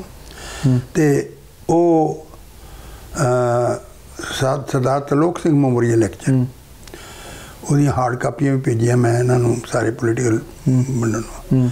ਤੇ ਉਹਦੇ ਵਿੱਚ ਮੈਂ ਪੂਰਾ ਪ੍ਰੋਗਰਾਮ ਟੂ ਰੀਸਟਰਕਟ ਪੰਜਾਬ ਕਿਦਾਂ ਕਰਨਾ। ਸਾਰਾ ਦਿੱਤਾ ਸੀਗਾ। ਹੁਣ ਐਗਰੀਕਲਚਰ ਦੇ ਵਿੱਚ ਆਪਾਂ ਕਹਿੰਦੇ ਐਗਰੀ ਫਾਰਮਰ ਮਰ ਗਿਆ। ਜੋ ਫਾਰਮਰ ਹੈ ਕਿਹੜੇ? ਇਹ ਤਾਂ ਦੱਸੋ ਜਿਹੜੇ ਮਰ ਗਿਆ ਉਹਨਾਂ ਦੀ ਤਾਂ ਗੱਲ ਹੀ ਨਹੀਂ ਕਰਦੇ ਤੁਸੀਂ। ਉਹਨਾਂ ਗੱਲ ਨਹੀਂ ਕਰਦੇ ਬਿਲਕੁਲ। ਆਹੋ। ਮੈਂ ਤਾਂ ਉਹਨੇ ਕਿਹਾ ਸੀਗਾ ਕਿ ਜਿਹੜਾ ਛੋਟਾ ਫਾਰਮਰ ਹੈ ਨਾ I gave them a model ਕਿ ਉਹਨਾਂ ਨੂੰ ਪਾਰਟ ਟਾਈਮ ਫਾਰਮਰ ਬਣਾ ਦਿਓ। ਬਿਲਕੁਲ। ਜਿਹੜੀ ਤੁਹਾਡੀ ਜੌਬ ਹੈ ਇਟ ਸ਼ੁਡ ਗੋ ਟੂ ਦੇ ਡੋਰ ਸਟੈਪਸ ਰਾਦਰ ਦੈਨ ਕਿ ਉਹਨਾਂ ਨੂੰ ਤੁਸੀਂ ਸ਼ਹਿਰਾਂ ਵਿੱਚ ਕੋਈ ਅੱਜ ਰਾਤਾ ਜੀ ਐਡਰੈਸ ਪਾਰਕ ਹੈ ਫਲਾਣਾ ਤੀਗੜਾ। ਸਾਨੂੰ ਹੁਣ ਉਹਨਾਂ ਪਾਰਕਾਂ ਦੀ ਲੋੜ ਨਹੀਂ ਸਾਨੂੰ ਵੱਡੀ ਇੰਡਸਟਰੀ ਲੋੜ ਨਹੀਂ ਸਾਨੂੰ ਸਮਾਲ ਐਂਡ ਮਿਡਲ ਇੰਡਸਟਰੀ ਲੋੜ ਹੈ। ਮੀਡੀਅਮ ਦੀ ਜਿਹੜੀ ਪਿੰਡਾਂ ਦੇ ਵਿੱਚ ਸਪਰੈਡ ਕਰ ਦਿਓ। ਬਿਲਕੁਲ ਬਿਲਕੁਲ। ਮੇਰੇ ਕੋਲ ਮੇਰੇ ਸਾਹਮਣੇ ਐਗਜ਼ਾਮਪਲ ਹੈਗੀ ਆ ਇਹਦੀ ਗੁਰੂ ਨਾਨਕ ਆਟੋ ਪਾਰਟਸ ਵਾਲੇ ਦੀ ਜਿਹੜੀ ਯੂਨੀਵਰਸਿਟੀ ਵੀ ਹੈਗੀ। ਇਹ ਚਾਰ ਭਰਾ ਸੀ ਚਾਰ ਫੈਕਟਰੀ ਸੀ ਬਟਾਲੇ ਦੇ ਕੋਲ। ਮੈਨੂੰ ਉੱਥੇ ਇੱਕ ਸੁਸਾਈਡ ਦਿਖਾ ਦਿਓ। ਹੁਣ ਦੋ ਉੱਥੇ ਰਹਿ ਗਈਆਂ ਦੋ ਇਹਨਾਂ ਨੇ ਹੁਸ਼ਿਆਰਪੁਰ ਰੋਡ ਤੇ ਲਾਈਆਂ। ਜਿੱਥੇ ਐਮਪਲੋਇਮੈਂਟ ਅਵੇਲੇਬਲ ਹੈਗੀ ਆ ਬੰਦਾ ਘਰੋਂ ਉੱਠਦਾ ਸਾਈਕਲ ਚੁੱਕਦਾ ਮੋਟਰਸਾਈਕਲ ਚੁੱਕਦਾ ਬੈਠੀ ਜਾ ਕੇ ਕੰਮ ਕਰਦਾ ਸ਼ਾਮ ਨੂੰ ਘਰ ਆ ਜਾਂਦਾ। ਉਹਦੇ ਕੋਲ ਜਿਹੜੀ ਸੈਲਰੀ ਉਹਦੀ ਉਹਦਾ ਅਲਾਉਂਸ ਹੈ ਕਿਸਮ ਦਾ। ਅਲਾਉਂਸ ਬਿਲਕੁਲ। ਉਹ that he can use in agriculture ਹੀ ਉਹ ਕਿਤੇ ਵੀ ਯੂਜ਼ ਕਰ ਸਕਦਾ। ਤੇ ਉਹ ਉਹਦੇ ਨਾਲ ਤੁਹਾਨੂੰ ਪਾਰਟ ਟਾਈਮ ਜੌਬ ਫਰਤੇ ਹੁਣ ਜ਼ਬਾਨ ਚ ਹੈ। 90% ਫਾਰਮਰ ਜਿਹੜੇ ਆ ਉਹ ਪਾਰਟ ਟਾਈਮ ਫਾਰਮਰ ਹੈ ਉੱਥੇ। ਉੱਥੇ 2 ਹੈਕਟੇਅਰ ਦਾ ਜਿਹੜਾ ਫਾਰਮ ਹੈ ਨਾ ਉਹ ਲਾਰਜ ਫਾਰਮ ਗਿਣਿਆ ਜਾਂਦਾ। ਔਰ ਉੱਥੇ ਜਿਹੜੀ ਆ 90% ਤੋਂ ਜ਼ਿਆਦਾ ਇਨਕਮ ਜਿਹੜੀ ਆ ਉਹ ਨਾਨ ਫਾਰਮ ਸੈਕਟਰ ਤੋਂ ਆਉਂਦੀ ਹੈ ਬਿਲਕੁਲ। ਹੈ ਉਹ ਕਿੰਨਾ ਕੁਝ ਇਹ ਦੀ ਸੇਮ ਇਜ਼ ਇਹੋ ਜਿਹੜੀ ਚਾਈਨਾ 'ਚ। ਹੈ। ਅਸੀਂ ਕਿਉਂ ਨਹੀਂ ਕਰ ਸਕਦੇ? ਅਸੀਂ ਕਿਉਂ ਨਹੀਂ ਕਰ ਸਕਦੇ? ਬਿਲਕੁਲ। ਉਹਦੀ ਮੈਂ ਸਾਰੀ ਆਊਟਲਾਈਨ ਦਿੱਤੀ ਵੀ ਐਦਾਂ ਹੋਣੀ ਹੈ। ਆਹ ਸਿਹਤ ਸ਼ਰਤਾਂ ਹੋਣਗੀਆਂ ਆਹ ਸਹੂਲਤਾਂ ਹੋਣਗੀਆਂ। ਐਸੇ ਆ। ਉਹ ਕਿਸੇ ਨੇ ਧਿਆਨ ਨਹੀਂ ਦਿੱਤਾ ਉਹਦੀ ਵੱਲ ਫਿਰ ਧਿਆਨ ਕਿੱਧਰ ਹੈ ਡਾਕਟਰ ਸਾਹਿਬ? ਤੇ ਧਿਆਨ ਤਾਂ ਮੈਂ ਤੁਹਾਨੂੰ ਸੇ ਧਿਆਨ ਤਾਂ ਆਇਆ ਵੀ ਬੁਰਕੀਆਂ ਸਿੱਟੋ ਵੋਟ ਲਓ ਪਾਵਰ 'ਚ ਆਓ। ਤੇ ਲੁੱਟੋ। ਆਬਜੈਕਟਿਵ ਇੱਕ ਸਾਈਕਲ ਬਣਿਆ ਹੋਇਆ ਸਿੰਡਰੋਮ ਬਣਿਆ ਹੋਇਆ। ਹੈ। ਫੀਡ ਦੀ ਮੋਰਸਲਸ ਔਰ get the votes and and loot ਇੱਕ ਸਿੰਡਰਮ ਬਣਿਆ ਹੈ ਹੂੰ। ਜਿਹੜੀ ਬੂਟੀ ਖਿੱਚਣ ਦੇ ਪੈਸੇ ਖਰਚ ਲੱਗੇ ਆ ਉਹ ਬਾਅਦ ਚ ਵੋਟਾਂ ਲੈ ਕੇ ਵਾਪਸ ਯਾਰ ਇਹ ਪੈਸੇ ਧਰਮ ਖਾਤੇ ਜਾਂਦੇ ਆ ਤੁਸੀਂ ਮੈਨੂੰ ਪਹਿਲਾਂ ਜਿਹੜੇ ਬੁੱਢੇ ਨੇ। ਤੁਸੀਂ ਸ਼ਰਾਬਾਂ ਪੜਾਉਣੇ ਆ ਪੈਸੇ ਬਣਦੇ ਹੋ। ਤੁਸੀਂ ਜੋ ਜਹਾਨ ਦਾ ਕੰਮ ਕਰਦੇ ਆ। ਲੋਕਾਂ ਨੂੰ ਆਪ ਨੂੰ ਵੀ ਸੋਚਣ ਦੀ ਲੋੜ ਐਮਐਲਏ ਨੂੰ ਹਣ ਕਰਕੇ 5-4 ਕਰੋੜ ਰੁਪਈਆ ਤਾਂ ਉਹੀ ਗੱਲ ਲੱਗ ਜਾਂਦਾ ਲੱਗ ਜਾਂਦਾ। ਤਾਂ ਹੀ ਤੇ ਤਾਂ ਹੀ ਤੇ ਹੁਣ ਕਹਿ ਦਿੰਦੇ ਆ ਕਿ ਜਦੋਂ ਕਿਸੇ ਨੂੰ ਆਪਾਂ ਕਹਿ ਸਕਦੇ ਆ ਭਲਾ ਕੋਈ ਠੀਕ ਠਾਕ ਬੰਦਾ ਹੋਵੇ ਉਹਨੂੰ ਕਹਿ ਦਿਓ ਇਲੈਕਸ਼ਨ ਲੜੋਗੇ। ਉਹ ਪਹਿਲਾਂ ਇਹੀ ਗੱਲ ਕਹਿੰਦਾ ਨਾ ਜੀ ਮੇਰੇ ਕੋਲ ਤਾਂ ਪੈਸੇ ਹੈ ਨਹੀਂ। ਦੇਖੋ ਮੇਰੇ ਕੋਲ ਪਹਿਲਾਂ ਤਾਂ ਪੈਸਿਆਂ ਦੀ ਗੱਲ ਹੀ ਆਉਂਦੀ। ਮੇਰੇ ਕੋਲ ਆਪ ਪਾਰਟੀ ਵਾਸਤੇ ਕੇਜਰੀਵਾਲ ਆਇਆ ਸੀ। ਸਾਰੇ ਬੰਦੇ ਨਾਲ ਸੀਗੇ। ਆਪਣਾ ਮਾਨ ਵੀ ਸੀ ਦੂਸਰੇ ਸਾਰੇ ਬੈਠੇ ਤੇ। ਮੇਰੇ ਨਾਲ ਗੱਲ ਹੋਈ ਮੈਂ ਕਿਹਾ ਦੇਖੋ ਜੀ ਗੱਲ ਆ। ਇੰਸਪੈਕਟਰ ਉਹਨਾਂ ਦਾ ਦਾਦਾ ਮੇਰਾ ਫੇਸ ਬਣਾਉਂਦਾ ਐਂਡ ਦੈਟਸ ਰਾਈਟ ਤੁਹਾਨੂੰ ਸੀਐਮ ਫੇਸ ਬਣਾਉਣ ਦਾ ਡਿਜ਼ਾਇਰ ਡਿਜ਼ਾਇਰ ਉਹਨਾਂ ਠੀਕ ਸੀ ਇਹ। ਤੇ ਲੇਕਿਨ ਮੈਂ ਨਹੀਂ ਇਸ ਕਾਬਲ ਸੀਗਾ। ਮੈਨੂੰ ਕਿਹਾ ਦੇਖੋ ਪਹਿਲੀ ਤਾਂ ਮੇਰੀ ਏਜ ਹੈ। ਮੈਂ ਹਾਰਡ ਪੋਲਿਟਿਕਸ ਨਹੀਂ ਕਰ ਸਕਦਾ। ਲੈਕਚਰ ਮਤਲਬ ਲੈ ਲਿਆ ਮੈਂ ਦਊਂਗਾ ਲੈਕਚਰ ਪਰ ਗੱਲ ਬਣਦੀ ਨਹੀਂ। ਦੂਜੀ ਗੱਲ ਇਹ ਹੈ ਕਿ ਮੇਰੇ ਕੋਲ ਪੈਸਾ ਹੈ ਨਹੀਂ। ਮੈਨੂੰ ਕਹਿੰਦੇ ਪੈਸੇ ਤਾਂ ਹੋ ਜਾਂਦੇ ਮੈਂ ਕਿਹਾ ਜੇ ਹੋਸੇ ਵਾਲੀ ਗੱਲ ਹੈ ਤਾਂ ਹੋਰ ਬਥੇਰੇ ਮੈਂ। ਮੈਂ ਮੈਂ ਕਿਹਾ ਮੈਂ ਇਸ ਗੱਡੀ ਦਾ ਬੈਲ ਨਹੀਂ ਹੈ। ਹੂੰ। ਮੈਂ ਕਿਹਾ ਦੂ ਤੀਜੀ ਗੱਲ ਮੈਨੂੰ ਘਰਾਂ ਦੇ ਆਦੇ ਗਈ ਸੀ। ਮੈਂ ਕਿਹਾ ਜੇ ਮੈਂ ਇਲੈਕਸ਼ਨ ਖੜਾ ਹੋ ਗਿਆ ਨਾ ਤੇ ਅਕਾਲੀਆਂ ਨੇ ਤੇ ਕਾਂਗਰਸ ਨੇ ਭਾਵੇਂ ਸਾਰੀਆਂ ਸੀਟਾਂ ਹਾਰ ਜਾਣ ਮੈਨੂੰ ਨਹੀਂ ਜਿੱਤਣ ਦੇਣਾ ਉਹਨੇ। ਮੈਂ ਸ਼ੁਗਰ ਨੇ ਗੱਲ ਕਹੀ ਸੀ ਪਰ ਇਹ ਸੱਚ ਹੈ। ਤੇ ਇਸੇ ਕਰਕੇ ਤਾਂ ਉਹ ਤਾਂ ਘਬਰਾਇਆ ਤਾਂ ਅਮਰਿੰਦਰ ਸਿੰਘ ਆਇਆ ਸੀ ਮੇਰੇ ਕੋਲ ਵੀ ਕਿਤੇ ਉਹ ਚਲਾ ਨਾ ਜਾਏ। ਆਹੋ। ਸੋ ਮੇਰਾ ਕਹਿਣ ਦਾ ਮਤਲਬ ਇਹ ਆ ਕਿ ਜੇ ਲੋਕ ਜਾਗਰੂਕ ਹੋ ਜਾਣ ਨਾ ਔਰ ਮੇਰਾ ਇੱਕ ਸੈਂਟੈਂਸ ਯਾਦ ਰੱਖੋ ਕਿ ਵਿਦਆਊਟ ਐਜੂਕੇਸ਼ਨ ਜਿਹੜੀ democracy it's sterile and democracy democracy ਬਣ ਜਾਂਦੀ ਹੈ। ਕਿਉਂਕਿ ਜੇ ਤੁਹਾਡੇ ਕੋਲ ਐਜੂਕੇਸ਼ਨ ਪਤਾ ਹੀ ਨਹੀਂ ਤੁਸੀਂ ਪਾਉਣ ਲੱਗਿਆ। ਕਹਿੰਦਾ ਬੀਬੀ ਜੀ ਮੇਰਾ ਵੋਟ ਬਣਾ ਦਿਓ ਕਿਉਂ? ਅਖੀ ਜੀ ਕਹਿੰਦੇ ਪੈਸੇ ਮਿਲਦੇ ਆ। ਅਗਰ ਅਗਰ ਸਾਡੀ ਅਪਰੋਚ ਹੀ ਇਹ ਹੈ ਬਿਲਕੁਲ। ਸ਼ਰਾਬ ਦੀ ਬੋਤਲ ਲੈ ਕੇ ਤੁਸੀਂ ਇਮੇਜਿਨ ਕਰਦੇ ਕਿ ਇੰਡਸਟਰੀਸ ਨੇ ਵੋਟਾਂ ਲੈ ਲਈਆਂ ਤੇ ਖਾਂਦੇ ਪੀਂਦੇ। ਸਾਨੂੰ ਬਲੈਕ ਡੌਗ ਚਾਹੀਦੀ ਹੈ। ਤਾਂ ਹੁਣ ਕੀ ਕਰੋਗੇ ਤੁਸੀਂ ਉਹਨਾਂ ਨੂੰ? ਬਿਲਕੁਲ ਬਿਲਕੁਲ। ਹੂੰ। ਡਾਕਟਰ ਤੁਸੀਂ ਸਾਡੀ ਸਾਨੂੰ ਆਪਣਾ ਕੀਮਤੀ ਸਮਾਂ ਦਿੱਤਾ ਤੁਹਾਡਾ ਬਹੁਤ ਬਹੁਤ ਧੰਨਵਾਦ ਜੀ ਆਇਆਂ ਨੂੰ ਤੁਹਾਨੂੰ। ਚਲੋ ਆਪਾਂ ਗੱਪਸ਼ਪ ਹੋ ਗਈ ਸ਼ਾਇਦ ਕਿਸੇ ਦੇ ਕੋਈ ਗੱਲ ਪੱਲੇ ਪੈ ਜਾਵੇ ਬਿਲਕੁਲ। ਮੈਂ ਆਏ ਜੇ ਮੈਂ ਗਲਤ ਕਿਹਾ ਹੋਵੇ ਤਾਂ ਮਾਫੀ ਮੰਗ ਲੈਣਾ ਹਾਂ ਬਿਲਕੁਲ ਤਾਂ ਇਹ ਸਨ ਸਰਦਾਰ ਸਰਦਾਰਾ ਸਿੰਘ ਜੌਲ ਸਾਹਿਬ ਜਿਨ੍ਹਾਂ ਦੇ ਵੱਲੋਂ ਸਾਡੇ ਦਰਸ਼ਕਾਂ ਨੂੰ ਬੜੀ ਅਹਿਮ ਜਾਣਕਾਰੀ ਦਿੱਤੀ ਗਈ ਹੈ ਆਪਣੇ ਕੀਮਤੀ ਵਿਚਾਰ ਜਿਹੜੇ ਆ ਸਾਡੇ ਨਾਲ ਸਾਂਝੇ ਕੀਤੇ ਗਏ ਨੇ ਉਮੀਦ ਕਰਦੇ ਹਾਂ ਕਿ ਡਾਕਟਰ ਸਾਹਿਬ ਦੇ ਕੀਮਤੀ ਵਿਚਾਰ ਜਿਹੜੇ ਆ ਤੁਹਾਨੂੰ ਜ਼ਰੂਰ ਪਸੰਦ ਆਏ ਹੋਣਗੇ ਦੁਬਾਰਾ ਫਿਰ ਮਿਲਾਂਗੇ ਧੰਨਵਾਦ